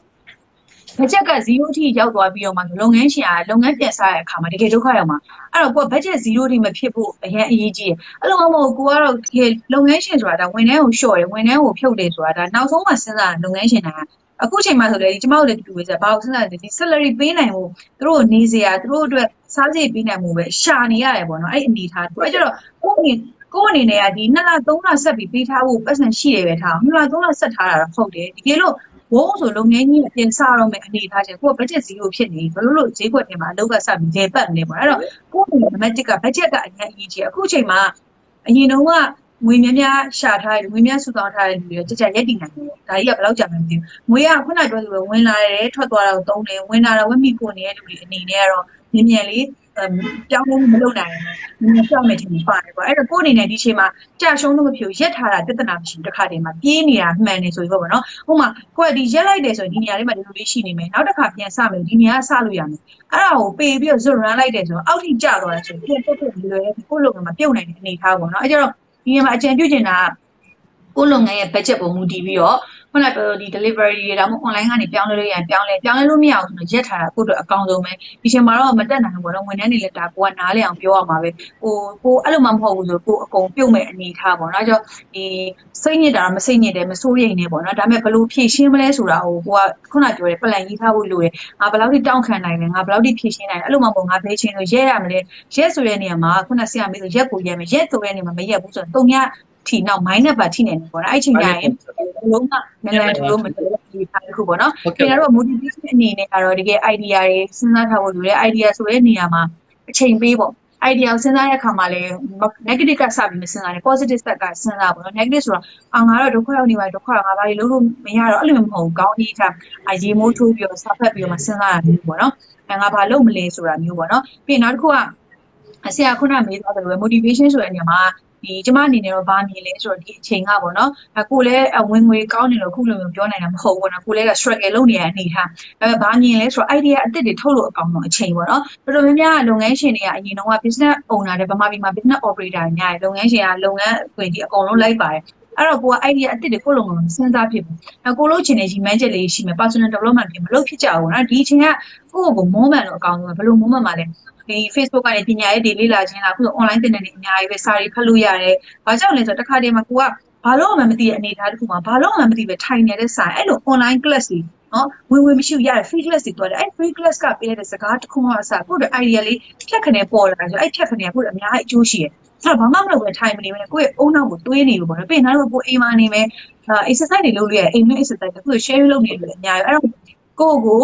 လှအောင်နေလို့ရတယ်များများလေးစားလို့ရတယ် personal development နဲ့ဖြည့်လို့ရတယ်ပေါ့ဒါကိုယ့်ရဲ့ကိုယ်နဲ့ပတ်သက်တဲ့အရာတစ်ခုပေါ့အဲ့တော့ ဆရာပြောတဲ့အနေနဲ့နောက်ဆုံးဒီမေးခွန်းအဆုံးသက်ချင်တာပေါ့နော်။ဘာမှမလုပ်ပဲထိုင်နေလို့တော့ဘာမှဖြစ်လာမှာမဟုတ်ဘူး။ခုနပြောတဲ့ရှေ့ဆက်တိုးမလားဘယ်ချိန်မှရဲရမလဲဆိုတော့မျိုး plan ကိုရေးထားပါ။ပြီးရင်နောက်တစ်ခုကမစင်စားရင်ဘာမှထွက်လာမှာမဟုတ်တဲ့အတွက် idea ကောင်းနေကြဖို့ဒီ free online class လေးရှိရပါအဲ့မှာသွားပြီး join ပြီးတော့နားထောင်တာမျိုးနားထောင်ရတဲ့ကိုယ့်အတွက်အတွေးမြင်တွေရလာတာမျိုးဆိုရင်တော့ဒါပိုကောင်းတဲ့အကျဉ်းကြီးရရှိလာမယ်လို့ယူဆပါရဲ့ဆရာ။ ဟုတ်ကဲ့ပါမကေကျေးဇူးအများကြီးတင်ပါတယ်နောက်ဆုံးမိခွန်းလေးပါမကေဒါအားလုံးလည်းသိကြမယ်လို့ကျွန်တော်ထင်လို့ပါအဲအမဒီလက်ကင်ထားတဲ့အတွေးခေါ်လေး၃ခုပေါ့လေအတွေးခေါ်လေးကိုအောင်မြင်ဖို့အတွက်အမမကေလက်ကင်ထားအတွေးခေါ်လေး၃ခုကဘာဖြစ်မလဲမကေညှိုးခြင်းနဲ့စာအုပ်လေးဒီလူတွေကိုဖတ်စေခြင်းနဲ့ဒီအချိန်မှာသူတို့လမ်းလင်းလောက်အောင်ဆိုဖတ်စေခြင်းစာအုပ်၃ပေါ့လေဟိုလှေကားတလီများမပါဖြစ်ပါမယ်နော်မကေဆရာပြောပြောမှသိအဲအာဆရာပြောတဲ့စာအုပ်ဆိုရင်ခုနပြောဆိုဒီ အဲကျမရေးထားရပေါ့နော်လေကားတလေးများနဲ့ဘောကိုပြောင်းလဲစီမဲ့အတွေးခေါ်များပေါ့နော်အဲ့ထက်မှာတော့တကယ် motivation ရတဲ့စာအုပ်တွေပါလေကားတလေးများကတော့ဒီရောင်းစာအုပ်ပေါ့နော်အဲပြီးရင်ဘောကိုပြောင်းလဲစီမဲ့အတွေးခေါ်များကလည်းတကယ်လေကားတလေးများတွေရောင်းရတယ်ဒါပေမဲ့ online ကနေရောင်းတဲ့အတွက်စာအုပ်ဆိုင်တွေမှာတော့သူကစံချိန်တင်နေတယ်မပါခဲ့ online ကနေဖြန့်တာဆိုတော့ပေါ့နော်ဒီစာအုပ်တွေကဖတ်တင်နေပြီးနောက်တစ်ခုကတော့လုပ်ငန်းနဲ့ပတ်သက်ပြီးသိချင်တာရှိဒီ business နဲ့ပတ်သက်တဲ့စီးပွားရေးစီမံခန့်ခွဲမှုစာအုပ်တွေရှိရပေါ့နော်အဲ့ဒီစာအုပ်တွေကိုဖတ်တာမျိုးအဓိကအခုနောက်ပိုင်းမှာစဖတ်နေလာရဲဆိုလေတကယ် online ကနေပြီးတော့ဒီကိုယ့်အတွက်အကျိုးမရှိမဲ့အရာတွေကိုဖတ်နေမယ့်အစားပဲဒီချိန်မှာကို see first လုပ်ထားမယ်လူတွေ see first လုပ်တာပေါ့ဥမာဒီဆရာတို့ MOE ကို see first လုပ်ထားတာမျိုးပေါ့နော်ပြင်တော့တခြားကို motivate ဖြစ်စေမဲ့ piece ကို see first လုပ်ထားတာမျိုးပေါ့ဘာကြောင့်လဲဆိုတော့မနေ့အိပ်ရထားလိုက်တော်တော်များဖုန်းဖွင့်နေဆရာဒီကျမကိုလည်းဖွင့်တယ်ထမင်းစားရင်လည်းဖွင့်တယ်မနေ့အိပ်ရတာဘာထူးလဲပေါ့အဲ့ကောင်ကို see first လုပ်ထားတဲ့ new feed မှာပထမဆုံးပေါ်လာမှာကို see first လုပ်ထားတဲ့အရာအဲ့ဒီအရာကိုမနေ့ခင်းတော့အားရင်နေပေးလိုက်တော်တော်များများမနေ့ခင်းမှာ new face တွေကြည့်ရသူများဘွားတွေကိုဖတ်တယ်အဲ့ဒီမှာတနားရီလောက်ကအချိန်ကုန်သွားပြီကိုပါဘာဖြစ်တော့အုံနောက် drain ဖြစ်သွားပြီ drain ဖြစ်တာပါဆိုအုံနောက်ကနွမ်းသွားပြီဘာမှမလုပ်ချင်တော့ဖြစ်တယ်အဲ့တော့မနက်ခင်းဆိုအဲ့ရထမှာအရန်အရေးကြီးဆုံးပဲအဲ့ဒီအချိန်မှာကိုယ့်တဲ့အားအင်အားသွခွန်ဆိုင်ဖြစ်စေမယ့်အရာမျိုးတွေကိုအဲလှုပ်ထားပါတော့ဒါဆိုရင်တော့ကိုယ့်အနေနဲ့ပြန်ပြီးတော့အကျိုးကျေးဇူးရှိလာမယ်ပေါ့နော်ဆရာမေးတဲ့မေကွန်းကဒါဖတ်ရမယ့်ဟာပေါ့နော်ပထမတစ်ခုကဆရာဘာလဲမသိကြဟုတ်ဟောမက်ကလက်ကင်ထားတဲ့ idea လေးသုံးခုပါအခုတော့အောင်မြင်လက်ကင်ထားတဲ့အတွေးခေါ် idea လေးသုံးခုပါ အဓိကတော့ဗာလဲဆိုတော့ဒီအောင်မြင်မှုဆိုတာရက်တက်နေလို့မရှိဘူးပေါ့နော်ကိုယ့်ကိုယ်လည်းဒါအောင်မြင်နေလို့ခုထိမယူဆသေးပါဘူးဆရာစူးစမ်းနေအောင်ပေါ့နော်ဒီလမ်းကြောင်းအဓိကလမ်းကြောင်းမှန်နေလို့ပဲယူဆလမ်းကြောင်းမှန်နေဆိုတော့ဗာလဲဆိုအောင်မြင်မှုလမ်းကြောင်းမုံရောက်လာရဲဆိုရင်ဟိုဒါလူငယ်တယောက်ကလမ်းမှန်နေပေါ့နော်အဲ့တော့အမြင်နဲ့ဗာပြောလို့ရှိရဲဆိုတော့အောင်မြင်ခြင်းနဲ့စိတ်ရှိတဲ့လူငယ်တယောက်ကအောင်မြင်မှုကိုဘာမှမသိတဲ့လူထက်ဆိုင်အောင်မြင်မှုအနည်းဆက်တယ်ပို့ပြီးတော့ ဘာကြောင့်လဲဆိုတော့အောင်မြင်ခြင်းနဲ့စိတ်ရှိရတဲ့အတွက်သူကအောင်မြင်မှုလမ်းကြောင်းပေါ်ရောက်နေဘာကြောင့်လဲဆိုတော့ဒီအောင်မြင်အောင်ဆိုစူးစမ်းတော့မှာအဲ့တော့ကိုယ့်အနေနဲ့အောင်မြင်မှုနဲ့ကိုယ်နဲ့နီးစပ်တယ်လို့ယူဆလိုက်ခဲ့ရတာအောင်မြင်တော့မဲ့လူတစ်ယောက်ဖြစ်တယ်ပေါ့နော်အဲ့တော့အောင်မြင်မှုဆိုတာပြင်အဆုံးမသက်ဘူးဘာကြောင့်လဲငငယ်လေးတော့ထင်ခဲ့ဆယ်ပြီးကစားမဟာငါဂုံလေးအများကြီးပိုင်ပြီးပြီ ထင်ခဲ့မဟုတ်ပြန်တက်လို့ရောက်တော့လေပြီးလားမပြီးပြန်နော်အလုပ်ခရတော့ပြီးလားမပြီးမှအဲ့တော့ဘဝဆိုတာတော့အဆုံးမရှိဘူးတူတူအောင်မြင်မှုဆိုတာလည်းအဆုံးမရှိဘူးကိုယ်အနေနဲ့ကိုလက်ရှိရောက်နေတဲ့နေရာအမြဲပိုကောင်းအောင်ကြိုးစားနေမှာအောင်မြင်ဖြစ်တယ်အောင်မြင်ဖြစ်တယ်ပေါ့နော်အဲနံပါတ်1တစ်ချက်ဖြစ်ပါတယ်နံပါတ်2ကတော့ဗာလဲဆိုတော့အရင်ကတည်းကလက်ကင်ထားအခုထိလည်းလက်ကင်ထားအောင်ပဲပေါ့နော်ဒီ channel magazine တော်တော်များများဖြည့်ဘူးတယ်ပြစ္ဆုတ်ပံအကောင်းဆုံးကြိုးစားပါဆိုတာဖြစ်ပါတယ်ဗာလဲဆိုတော့ ပြစ္ဆုတ်ပံအကောင်းဆုံးစူးစမ်းတဲ့လူတယောက်ကအတိတ်ကိုနောင်လာရကြလည်းမလို့ဆိုအနာဂတ်ကိုပူစရာလည်းမလို့နောက်အခုဆိုရင်ဒီဆရာနဲ့ကျမတို့ဒါအချင်းကိုအကျိုးရှိစွာလည်းအများကိုမျှဝေပေးနေတယ်လက်ရှိပြစ္ဆုတ်ပံတွေကိုတန်ဖိုးထားနေပေါ့ပြီးရင်အခုဘာလို့ဆရာရှိလဲဆိုတော့ဒီမှာဒီဒီ collaboration လုပ်ထားတဲ့ company တစ်ခုနဲ့ video တစ်ခုပေါ့အဲ Tratto application ပေါ့ဒီတောင်းလို့လေသမားတွေအတွက် motivation video လေးပြောပြရမယ်ဒါရိုက်ဆရာရှိပါအဲ့ဒါဘာလဲဆိုလက်ရှိအချိန်အကောင်းဆုံးအသုံးချလိုက်တာပဲပြီးနောက်တစ်ခုကကိုအခုလက်ရှိအချိန်မှာငါတို့ခဏလေးပါကိုဖုန်းလေးကြည့်လိုက်တနားရီလောက်ပါဆိုအဲ့တနားရီတရက်ကိုတနားရီတပတ်နေ9နာရီဖြစ်သွားတယ်အဲ့တော့ကိုယ့်အနေနဲ့လက်ရှိအချိန်တိုင်းကိုအကောင်းဆုံးအသုံးချကိုယ့်ရဲ့အကျိုးရှိမဲ့အရာတွေလုပ်နေအကျိုးမရှိဘူးဆိုတဲ့အရာဘာမှမလုပ်နဲ့အဲ့ဆိုရင်တော့ကိုယ့်ရဲ့အနာဂတ်ကလည်းကြောက်စရာမလိုဘူးအတိတ်ကလည်းနောင်လာစရာမလိုဘူးပေါ့နော်နံပါတ်1အနေနဲ့ပါလဲဆို ပစ္စုပန်ကိုအကောင်းဆုံးကြိုးစားမှာနံပါတ်3အနေနဲ့ကတော့อืมအမြဲတမ်းလေးဒီခံယူထားတဲ့အရာတစ်ခုပေါ့နော်ဒီအမြဲတမ်းလေ့လာနေပါအမြဲလေ့လာနေပါဆိုတော့ဗာလဲဆိုတော့ပညာရေးဆိုတာပြည့်စုံတယ်လို့မရှိဘူးအခုဆရာတို့ကျမတို့ share လုပ်တယ်ဆိုတာဒါကိုယ့်ရဲ့အတွေ့အကြုံကိုသိတဲ့အပေါင်း share လုပ်တာကိုမသိတဲ့ဟာတွေလည်းအများကြီးရှိရပေါ့အဲကြတော့ဟုတ်တယ်ဒီခုမင်းနေတဲ့လုပ်ငန်းရှင်တွေကြည်နေတဲ့လုပ်ငန်းရှင်တွေထဲမှာလည်းသူတို့အတွေ့အကြုံတွေအများကြီးရှိရအဲ့တော့ဘာလို့လဲရှိလဲဆိုတော့ဒီမှာအမြဲအပြင်သွားတိုင်း စကားသိပြောလေးမရှိဘူးဆင်ပေါ်မှာပဲပြောတာဗီဒီယိုမှာပြောတယ်ဆရာ